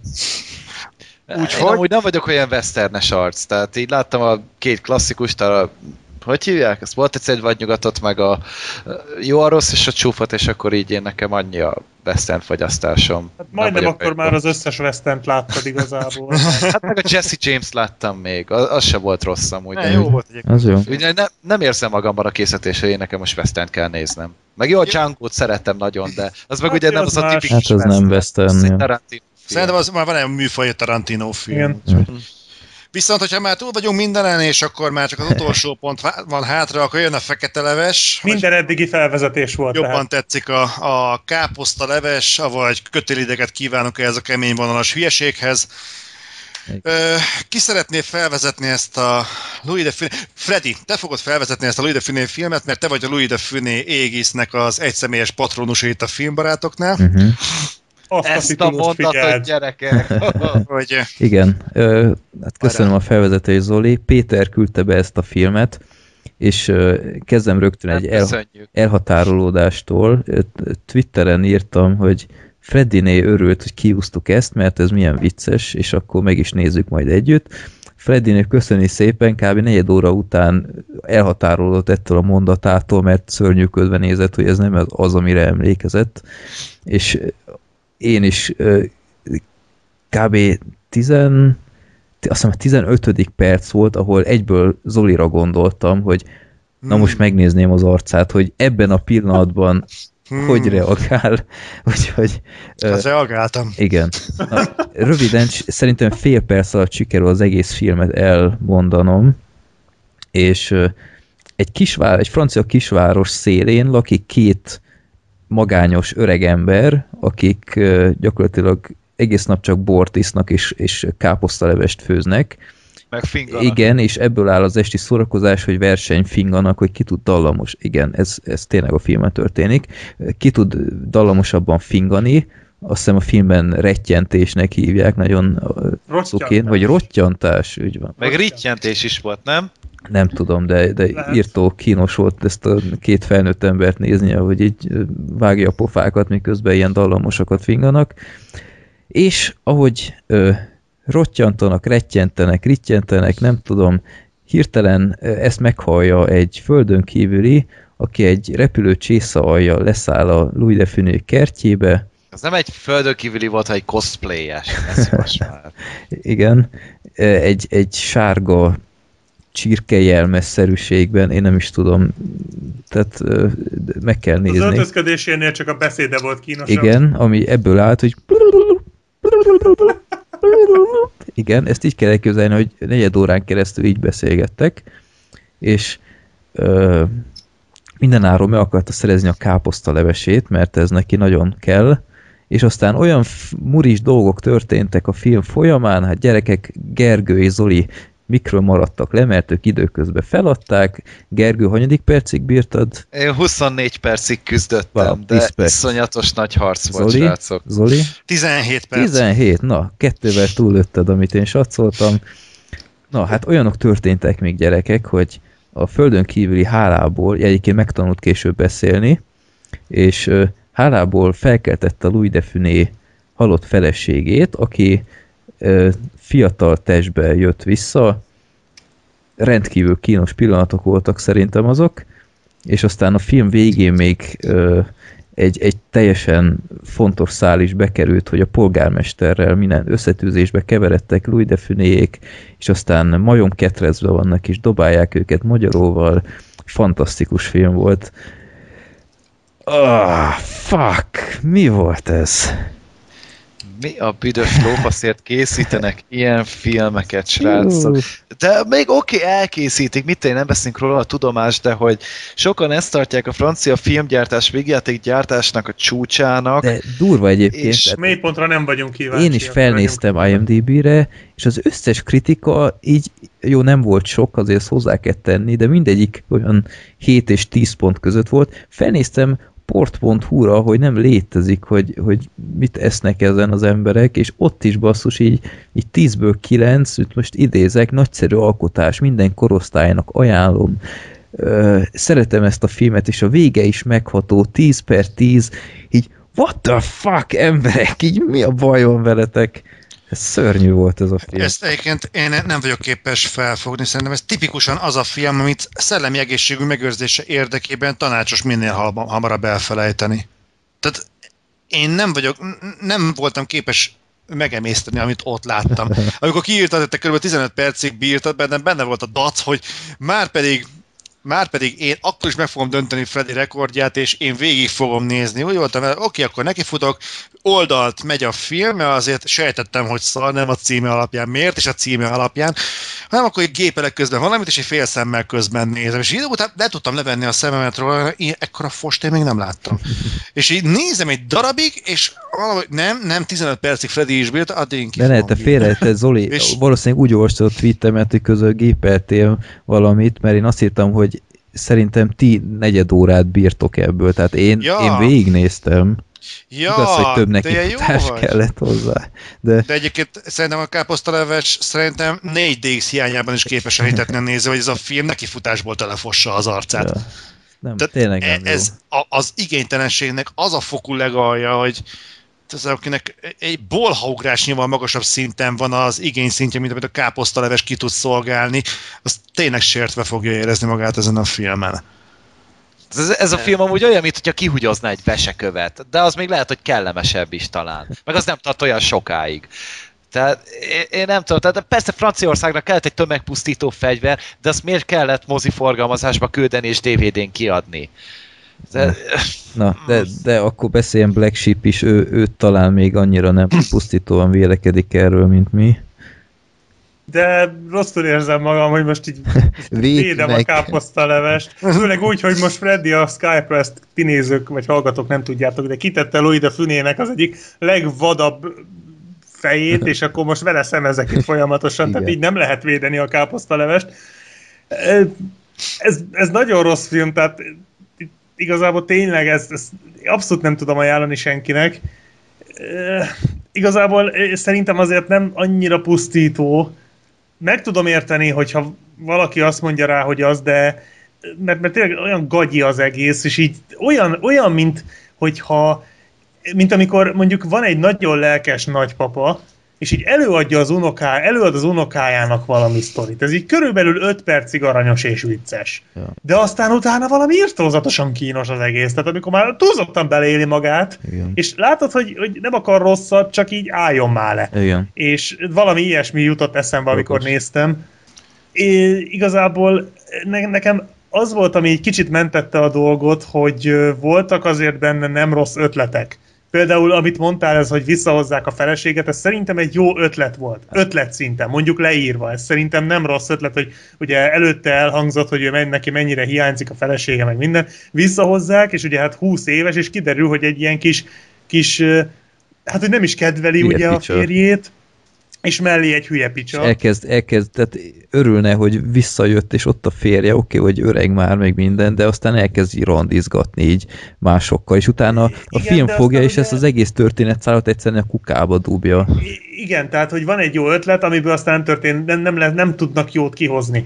Ezt sokszor eljátszák. Tehát Igen. ott van ez a káposztaleveses dolog. Ja. Szerintem ez se egy rossz ötlet. Jó, nagyon vad. De hogy így lejön az UFO, megeszi a káposztalevest, visszamegy, és ugye így röviden bemutatja a bolygóját, vagy így elmondja, hogy milyen az ő bolygója, hogy ott nincsenek növények, meg állatok, hanem csak olyan ételeket esznek, amik bevihetőek, tehát amik fontosak a szervezetnek, és akkor ezt valami, nem tudom, milyen tabletta, vagy milyen formában viszik be. Ő fölvitte a káposztalevest, és akkor hát mindenki azt akarja. Ez nem egy rossz ötlet. Egy ilyen bugyuta filmhez, ez egy teljesen jó ötlet, de nem hoznak ki belőle semmi normálisat. Igen. Ott van a végén ez a az építkezéses, ugye oda akarják építeni ezt a, ezt a vidámparkot, vagy mit, és akkor mondják ezt a majomketreceset. Ez tényleg nagyon gáz volt. Ja. Ez addig volt vicces, ez, vagy hát vicces, jó, ne túlozzunk, addig volt egy nem rossz ötlet, amíg csak elhangzott, hogy, hogy majd hogy majd majom, hogy itt fogtok ülni, ketrec lesz közületek, és kajával fognak titeket dobálni. Igen, az szó szerint elsütik. És utána elsütik, és az már gáz. Ja. Tehát, és ezt folyamatosan ezt csinálja a film. És, és én látom ebbe a hát potenciál, de mondom, nem lehet védeni, tehát nem védeni akarom, mert rossz, de látom benne azokat a dolgokat, amikkel ezt lehetett volna egy, nem mondom, hogy jó filmé, de egy ilyen ártalmatlan hülyeség lehetett volna ez a film, amit így egyszer megnézel, és így másnapra elfelejted, Mm. de ez az egész stílus, ahogy előadják, ez, meg, meg a Louis de Funének ez a jellegzetes stílusa, nagyon, nagyon nehéz végignézni, szóval De nem- én nem... nem, az Adél és a múmia rejtélyéből. Ezt még mindig nem láttam. Tipikus De, de, jelenet, amit de nem rajta, tehát nem rajta múlott szerintem. Tehát oké, okay, Louis de Funénél grimaszolás, meg ezek igen, hozzátartoznak, ott de, megszokja az ember. de nem ettől volt a film szerintem olyan rossz, amilyen. Tehát egyszerűen se füle, se farka nem volt az egésznek, mint hogyha ilyen, ilyen egy órájuk lett volna kitalálni az egészet, és, és rendkívül idétlen. idétlen volt, kínos, és, és nem volt vicces. Egy, egy jó jelenet volt, amire azt mondom, az a ezt, ezt csak Black Sheep tudja értékelni, mert a 27. percen túl volt a, a bólogató rendőr, ott a rendőrőrsön. Igen, igen. Na az, azt mondom, hogy oké, okay, ez egy, ez egy Már-már Sean a bárány szintű. az, az egy, egy, egy félperces tube videónak jó lett volna, így, így akármilyen más csatorna ezt elsüti, akkor azt mondom, hogy oké, okay, ez, ez szellemes volt. De az is így annyira a semmiből jött ezzel a rendőrséggel, És meg nem minden. csináltak vele semmit. Ja, Ja, megint ott szörnyű. egy jó ötlet, jó, megint ott egy nem túl rossz ötlet, és nem csinálnak vele semmit. Tehát És folyamatosan dobálja föl a film ezeket, és semmi. Egyszerűen nagyon fárasztó volt nézni, és, és én a, még csak nem is tudnám azt mondani, hogy Louis de Funé egy, egy utánivaló akárki, mert én alapjában én gyerekként is szerettem, és mai napig végignézitek a, az adásokat, Aha. két filmben is, két filmet is már bemutattam tőle, egyik a, a, egy kis kiruccanás, és a másik a Jakob Rab, Rabbi kalandjai. Én ezt a két filmet imádom. És tartom magam ahhoz, hogy Louis de vannak jó filmei. Ott van a Fantomas, ami szerintem ö, szintén egy egész szórakoztató darab. Meg Hát az a, eredeti Oscar se olyan rossz, bár közelébe sincs a Stallone és hát én a. Stallone-osat se szeretem mondjuk. Nem szereted a Stallone-os Na, Oscar? az is egy fárasztó darab. Mi? Na, Tök hát jó! ezt nem hiszem el, hát az egy kult klasszikus. Érted már, Brexitben miért féltem attól, hogy lesz húzva a Mad Max? Értem, most már értem. Meg ott van a mi csak ki tetovál, azt hiszem az is egy egész jó kis film. Hogyha, Nekem azt az előző, Bocsánat, mondjad? De ez a az magyar, előző adásban is mondtam, hogy talán még a Heves Jeges az, ami tök poén, meg az egy jó pofa filmje. Én még arra emlékszem, hogy azt tetszett, és azt nem olyan nagyon-nagyon régen láttam, és teljesen Aha. fogyasztató volt. jó, úgyhogy De ez nem az. tényleg tehát ez- nagyon-nagyon ingadozik a Louis de Funé filmminőség, tehát én a csendőrös filmeket... Nicolas Cage. Hát, ja, Vannak, vannak olyan filmjei Nicolas Cage-nek, ahol ja. Nem mondod. Nagyon vad. Meg hozzá kell tenni a káposztalevesben, tehát már elég öreg volt, meg beteg is, ha minden igaz, tehát utolsó előtti filmje volt ez, ha nem mondok hülyeséget. Nem, az egyébként. Én se, én se a fünét utálom, tehát nem, én se utálom, mert amúgy egy nagyon aranyos, meg hát amit mondtam, így, így 10-15 percig aranyos a fickó, Mm. de aztán így nagyon fárasztó. Tehát Igen. tényleg egyszerűen nézed, és, és hiába próbálnád, én pró- tényleg próbáltam nem annyira utálni ezt a filmet, főleg, hogy amikor én elkezdtem, akkor tudtam, hogy te például Freddy már kifejezetten utálod, de Ja. hát próbáltam, de ez, ez, ez nem lehet, tényleg nem lehet védeni ezt a filmet, szóval Ja. Abszolút nem tudom ajánlani, annak ellenére, hogy azért én nem, tehát én fizikailag úgy nem szenvedtem, nekem a hazsadás jóval nagyobb szenvedés volt, de ez meg van az én bajom. Nekem elég komoly gondoljaim voltak egyébként ezzel a filmmel, tehát én nem tudok annyira sem szofisztikáltan fogalmazni a filmekkel kapcsolatban, szerintem itt a filmeknek a címadása is átment egy pár évtized alatt egy olyan generációs váltáson, hogy ma már, hogyha bedobnak egy olyat, hogy káposztaleves, akkor ebből lebontja az ember, hogy jó, ez biztos, hogy 80-as évek előtt adták ki, mert egyszer kizárt, hogy ilyen film Valami show lehet Ilyen, talán. ilyen fasságot És biztos kiadni. lenne benne egy avagy. tehát Tehát eh, egyszerűen katasztrófa, de én, én nem vagyok képes közösséget vállalni Louis de Funével, mert eh, tehát gyerekkoromban tudom, hogy el voltam vele, de gyerekkorában az ember a bohócokat is szereti, el voltam a, a Mikka Makka kalandjaival, még nem tudom mikkel, vagy ebbe az analógiába tökéletesen belefélt Füné is, de így később szerintem tipikusan az a túlgesztikulált színészi manírjait tekintve végtelenségi középszerű színész, aki így önerejéből a faluszéli funk fesztiváloknál mainstream produkcióba szerintem nem keresnének meg. Hát egy karakterszínész ezekről az őrült gesztikulálásos dolgokra, tehát hol működik ez, hol nem, tehát ezt szerintem el kell fogadni. Nem, nem, én nem mondanám, azt nem örülnék annak, ha itt, itt le pecsételnénk őt, mint, mint idióta szar színész, mert szerintem ez nem, nem igaz. Tehát én, én Hát szerintem amúgy ő így a francia Jim Carrey. Talán így Ha, az lett. igen, tehát ez- Csak Jim Carreynek vannak jó filmjei, meg őt elviselem. voltak, Tehát így- voltak ilyen időszakok persze, csak igen, bocsánat. Ja, úgyhogy szerintem tényleg meg kell válogatni, hogy mit néz meg tőle az ember, mert, mert tényleg nagyon ingadozó. Én, én is láttam már tőle nagyon-nagyon tré filmeket, így e- emellett is, Most. de talán ez volt tényleg a legrosszabb az összes közül. Nekem az a bajom ezzel, hogy a Fünének, hogy, hogyha már Jim Carrey-vel párhuzamba lett állítva, Jim Carrey-nél legalább látszott, hogy azért szeretne valamilyen más kategóriát is megütni. Fünénél nem. Tehát Jim Carrey azért próbálta 23-as számmal, vagy az ember a Holdonnal, vagy akármivel más megütni. Füné gyakorlatilag én amennyire tudom, a pályája elejétől a pályája végéig egy, egy középszerű bohóc volt. Tehát még a saját generációjában is, a saját pályáján is sokkal-sokkal színesebb és, és sokrétűbb színészek léteztek. Jó, Füné valamiért mégiscsak Füné lett. Tehát ezt nem vitatom, hogy nyilván volt van egy öröksége mondjuk. közönsége, és Füné megmarad nekünk Fünének, viszont szerintem a filmek, én mint Zoli mondom, és, és teljesen ez egy szubjektív dolog, szerintem nézhetetlen, amit ez a fazon művelt. És ebbe beleveszem a csendőrfilmeket, beleveszem a, a, a rózsaszín párducot, meg a, a, az összes ilyesmit, az és, nem a, és ő főleg a káposzt, tényleg az nem ő volt, bocsánat, de Peter a, a káposztalevest meg aztán végképp. Jó, Tehát hát. ez valami én, katasztrofális. én nem mondanám, tehát én annyira nem ismerem minden filmjét, hogy most ö, meg tudnám mondani, hogy csak vígjátékozott, most átfutottam port.hu-na, ami felelhető, itt a 95%-ban valóban vígjátékot látok, van, ahol csak az van, hogy film. Nem tudom, tehát ö, tényleg egy, egy Louis de Funénél hit and miss, mert vagy, vagy jó valami, vagy nagyon nem, tehát ja, meg nem is öregedtek jó, tehát ezek a csendőrös filmek, én tudom, hogy gyerekként én imádtam, megnéztem őket ötször is, de legutóbb belenéztem ebbe egybe és, és ö, tényleg átkapcsoltam, mert, mert már nem, nem volt az, ami engem így leköt felnőttként. Én, én módszeresen elkapcsoltam ezektől mindig. Tehát me, itt én tévéztem előtt, és akkor így izé kiírták, hogy délután szárnyát vagy combját hallod a tévét, áramtalanítottam egy hétre. Tehát, hogy e, e, engem hagyjanak békén, tehát én is soha nem bírtam ezt elviselni. Mm. Egyszerűen. Tehát ugyanúgy vagyok, ugyanígy volt a Bud Spencer filmekkel is. Én nem ugrok értük. Tényleg, tehát én, én nem. Nagymamám nagyon szerette, az nagyon sokat nevetett rajta, meg mit én most hogyha ott voltál, akkor néztük, de hogy én ezért, vagy magamért Bud Spencer filmet nézek, az kizár. Nekem úgy ez, a, mint a füné. Hm. Most Freddy Nem is tudtam, Gergő, hogy te utálod a Bud Spencer-es filmet. Nem, egyszer, egyszer én nem bírom rávenni magamat, hogy megnézzem ezeket. Hát ez szerintem egy generációs kérdés, szerintem sok szempontból. Biztosan amúgy, tehát a, ami nektek volt a Bud Spencer, az nekem a Harry Potter talán, nem tudom, hogy Hát nem tudom, azért én annyira nem vagyok öregebb, mint a Gergő, tehát még én is benne voltam a Harry Potterbe, amikor ugye kezdődött az egész, tehát még akkor én is elég kicsi voltam. Paradox olyanként, ami mostanában benne felmerült, hogy engem mi idegesít rohadtul a régi filmekben.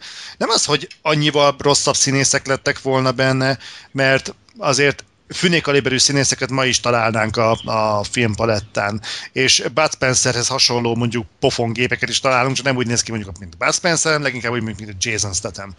De ami engem rohadtul zavar a régi filmekben, az a zene. Én ettől agyvérzést Na, az itt is katasztrofális. a Jaj, Bud Spencer jó is, hogy mondod, basszus. rosszul vagyok, a káposztaleves zenéjétől rosszul vagyok, Szörnyű a- volt. a fekete rigó, a, nem a fekete rigó zenéjétől egyszerűen heveny hasmenést kaptam, és, és nem tudom, régen egyébként nem, nem volt olyan, hogy felkérnek zeneszerzőket mondjuk, hogy komponálnak rendesen filmekhez? Tudom, hogy volt, ez költői kérdés, csak eh, nem létezett egyébként ez a zeneírói szakma? Ez, ez jó kérdés, mert, mert pont a káposztalöves kapcsán így uh, nyilván ezt ö, megint csak Black Sheep érti, mert uh, ő nézte végig a filmet velem együtt, Hát szerintem ezt még az Oliék is, tehát de, de Zolik talán csak nem tudom, én tízszer hallhatták ezt a dallamot, mi kb. 80-szor. hát az És, és ne, már, már komolyan ez egy külön ivójáték lett volna, hogy hányszor tudják még elsütni. Van, hogy És akkor milyen elviselhetőbb lett volna a film már fél óra de, után? de egyébként tényleg nem, tehát nem értettem, hogy oké, aki ezt a filmet megvágta, vagy valami, és, és nem gondolta, hogy az embernek feltűnik, hogy ugyanazt a dallamot bevágja 80 alkalommal a film során, és, és teljesen jelentéktelen, tehát eh, voltak olyan jelentek, nem is kellett volna zenei aláfesés, de ah, ha már itt van, akkor ide is Igen, benyomjuk. a, Oda is, megmaradt. a mondat végére, ah, legyen itt egy pár másodperc csönd, ah, megint belekezdek. És így néztem, nem létezik, hogy hogy lehet ezt az egy dallamot, ezt a 15 másodpercet ennyiszer bevágni, szörnyű volt. Igen, amikor a csávó jött ki például az orvostól a szomszédja, és tolta a biciklit, és így Igen. ment ez a zene, hogy mi az Isten? Igen, Vártam, igen. hogy lesz valami poén, vagy Semmi. valami poénnak szánt szarság, és, és semmi. Tehát az tényleg, fú, tehát fél óra után tényleg heveny agyvérzést Igen. elülgeti az ember tőle.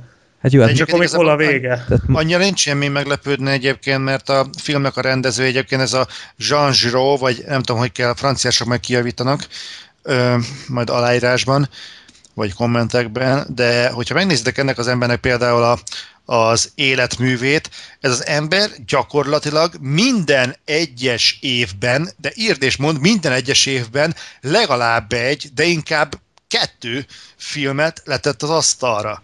Tehát ma ilyen rendezőt nem nagyon találunk. Sőt, inkább nem találunk. Woody Allen. Ő minden... Hát csak Jó, egyet. Jó, egy Woody. Allen egy speciális jelenség, egy speciális nézőközönséggel. Woody Allen az, aki erősíti a szabályt. De, de simán el tudom képzelni, hogy egy ponton túl az, jó, persze, igen, gyás le egy három másodperces taktust tegyük be 80-szor ugyanabban a filmben, jó lesz, kimegy, megnézik, bejön, oké, okay, ennyi volt. Simán tudom képzelni. Igen, de simán tudom képzelni, hogy régen voltak ilyen rendezők. Egyébként nagyon-nagyon szomorú, tehát nem, önakaratból nem akarnám a vérbe savazni ezt a káposztalevest, de ez szerintem minden olyan aspektust és részletet megtestesít, ami a filmgyártásnak a halála. Tehát konkrétan ezt a maximális igénytelenséget. Ja, hát nem egy jó sikerült darab. Legalább vicces lett volna basszus, akkor sok mindent megbocsátottam volna neki, de egyszerűen tényleg még csak az se volt, úgyhogy Azért mondjuk valami jót, jobb volt, mint a New Kids Turbo, mert azt legalább nem, nem, nem, mert ezt nem néztem végig, azért. nem. Hát ebből a Ezért volt szempontból jobb. számomra ez se jobb. New Kids Szóval jobb jobb volt. volt, mert ezt végig se bírtad nézni, nem Ja. értem a logikát. Hát itt legalább felismertem, hogy mentenem kell magamat, ott nem ismertem Ja. fel. Ott, ott úgy valamiért elhittem, hogy talán egyszer jó lesz valamikor. de Egyébként így- szerintem is nem. nézhetőbb volt annál, de fú. Hm. Hát én inkább New Kids-eznék. New Kids káposztaleves. Hát az elég sokat elmond a káposzta levesről A, egész. a, mondjuk, Ennél mondjuk nem tudom, hogy a szalónál rosszabb-e, vagy nem. Gergő, inkább ezt nézed meg, vagy inkább a Mothman-t? Mothman, inkább a Mothman. Ezer. Hallod, de tényleg, tiz, vagy mi az 24 percet néztem ebből a szarból, de, de az a baj, hogy még a szar is túl szép kifejezése, mert arról feltételezzük, hogy az emésztés előtt még ehető volt. és, és Jaj. egyszerűen tényleg a, a játékidőnek a felét azzal töltödik, hogy finganak. Én azt hittem, hogy ez a ilyen modern filmgyártás, modern vígjátékoknak, az Eden Sandler érának a hozománya, ezek a fingós viccek. De milyen dallamos volt. és, és 80-ban, vagy mikor készítették ezt a filmet, és már ekkor is ezt nyomatták, ez még akkor már vicces volt? Szarfilmek mindig is voltak. Tehát Hát jó, de ezek a fingós hülye filmek, tehát így De igazából ebből kiderül, hogy, hogy Adam Sandler nem rossz, csak retro. Ó, klasszikus. ez, ez ebbe azért több ponton bele lehetne kötni, maradjunk annyiban. Ez a, ez a fingás volt a legkevesebb baj szerintem ebben Igen, a ha csak fingtak volna, nem lett volna itt semmi. Ja. Hát ennyire nem lett volna sok gond. ja. Hát a többire már nem adtam esélyt. Hát jó, akkor összefoglalva erről a filmről. Ezt el lehet mondani. És magyaráz mindent. Jó. Viszont akkor ennél a pontnál át is adnám Freddynek, a Freddy D-nek, Jaj, igen, a, A díj, szót, a mert díj az az elbújt. feltétlenül A- kell. Igen. mert a zárszó az, az őt illeti, meg mégiscsak az igen. Jó. ő Nem. filmbarátai vagyunk. Ö, jó, hát akkor ez lett volna a 74. adás, ezért feltétlenül szükség volt Zoli átadni a szót. Találkozunk ö, június közepén, és ö, hát nem is tudom, mik lesznek most a közeljövőben. Jurassic, Polnapolis, Poltergeist, Solfia, ha minden a igaz. kém, jaj, Ami állítólag nem rossz. Hagyjál Na jó, már a Melissa McCarthy-val. Tehát a, azt Állítólag a a tilpás sutyó fost, amit az képvisel, tehát az a Én- fűnész szint. Nem, a fűné az legalább Én azt aranyos. tudom, hogy én is utálom a Melissa McCarthy-t, ettől függetlenül, vagyis nem utálom, de utálom a filmeket, amiket vállal, ettől függetlenül állítólag a kém nem lett rossz. Én sem nagyon hiszem még el, de azt hallottam. Jason Statham vicces benne. Igen. Meg té- tényleg Statham meg Jude Law miatt érdekel, de hogy ott van, ott van a középpontban az a rohadt szar, tehát én, én, én nem tudom, nem. Té- tényleg az egy, egymagában testesít meg mindent, ami szerintem mostanában rosszak a vígjátékok. Melissa McCarthy a rohadt De egyszer, egyszerűen az, az, az a mélyről jövő gyűlöletet, amit érzek az, az iránt, színész iránt. Megértem, megértem. Én is hányni tudnék attól a nőtől. És nem azért, ahogy kinéz, hogy túlsős vagy akármi, hanem hogy tipikus ezek, ezekre az amerikai filmes sztereotípiákra maximálisan ráerősít. Ja, hát az egy- a dagat vicces, és azért vicces, mert dagat. Igen, Igen. és mindig ezt csinálja. Tehát a, van egy konkrét tévésorozata, ami arról szól, hogy ő kövér. Mike és Molly. Mike és Molly. Igen, igen. De az konkrétan, tehát ez a történet, Mm. hogy ő kövér. Nem is értem, hogy ott a rendőrt, mondom, hogy s- sejtem a végét amúgy, hogy még mindig mutat, úgyhogy Elveszítsem az összes hitelességemet a szemetekben? mondja. Szereted azt a sorozatot? Nem, belenéztem a szívek szállodájába.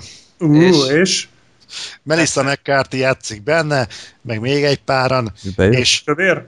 hát gyerekek, az a film, az egy olyan szintű agymosás, Sorozat. egy olyan szintű agymosás. Sorozat az, nem? Ja, igen, sorozat. Az olyan agymosás gyerekek, az ami brutális. És döbbenetes, hogy mennyi nő képes azzal azonosulni. Anyukám szereti. Egyszerűen félelmetes. Akkor nem mondok erről többet. De ha, hallod, abban a, a... Mindegy, hagyjuk, hagyjuk, akkor inkább nem megyek bele. Maradjunk annyiban, hogy én nem vagyok képes azonosságot vállalni. Adri kifejezetten sértve érezte magát rajta. Hm. És időnként, hogy ne, neki dobtam nyesett labdaként, hogy hm, na, ez a női lélek, lelket ábrázol, és kifejezetten meg volt sértve rajta. Hát jó, akkor Szét- több évadot nem veszem meg neki. De nyugodtan, ha szereti, akkor tehát nyugodtan, csak én, én így, így, így belenéztem, hogy tényleg ilyenek a Hát is mert kurvára készül rossz úton jártam. De kinek akkor? De, hát az anyukám. ja, mindegy. Ja jó, ja jó, értem. De Az a, egy ember szereti, az a lényeg. Igen, de nem De is legalább akárki. Tehát, Ha egy ember ja. szereti, akkor nem, nem volt kár megcsinálni. Hát főleg, hogyha Freddy anyukája, hát baszki. Így van. Nyilván, nyilván. Freddy. Inkább én, vesz, én veszem meg neki a többit. jó, na, megbeszéltük. Na, nézem a vág- listát.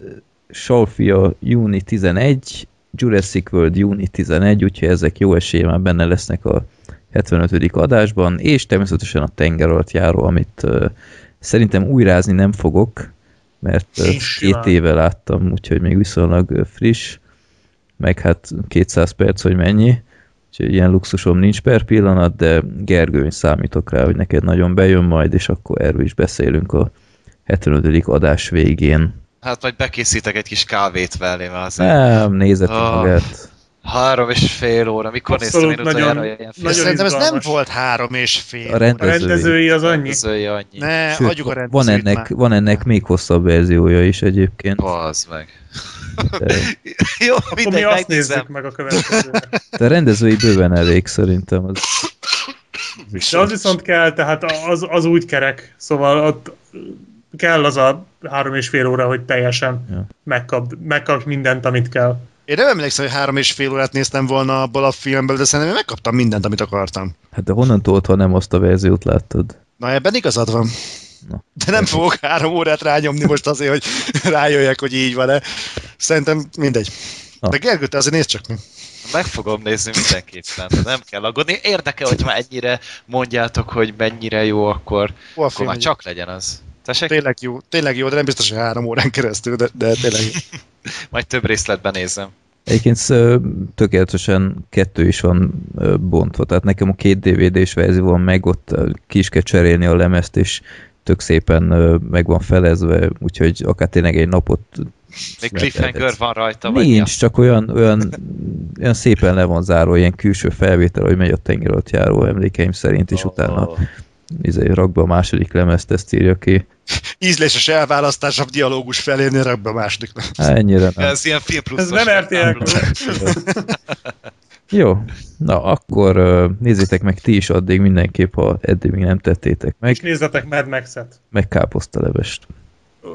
Jó, Csak egyétek. Vagy Mad max Akár azt is. Mad Max-et mindenképpen. Könyörgöm, juttassuk már, Machinát is jutassuk pénzhez ez- ezt a csapatot, a stúdiót. Lássák, hogy van igény a komoly akciófilmekre. Könyörgöm. ez egy szép uh, slusszpoén. Akkor köszönjük szépen a figyelmet, és akkor találkozunk június közepe felé. Szevasztok! Sziasztok! Sziasztok! Sziasztok!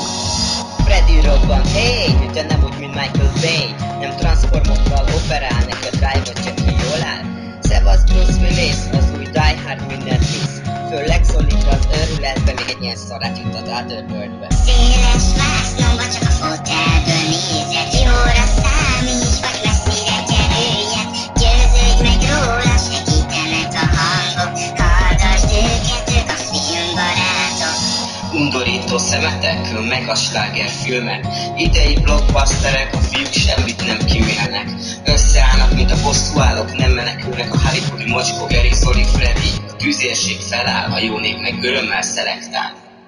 Széles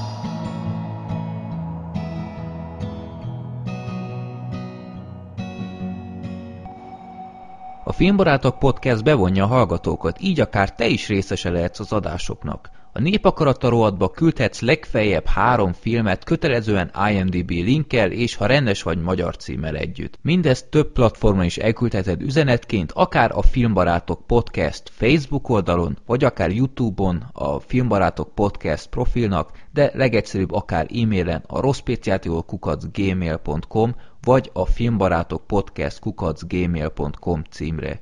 Ugyanez igaz a villámkérdésekre is, ott ráadásul annyit küldhetsz, amennyit akarsz. Ha tudni szeretnétek, hogy milyen filmekről beszéltünk eddig, nézzetek fel a filmbarátok.blog.hu oldalra, ahol a keresőmező megmutatja, hogy miről és melyik adásban beszéltünk. További jó szórakozást kívánok az adásokhoz, sziasztok!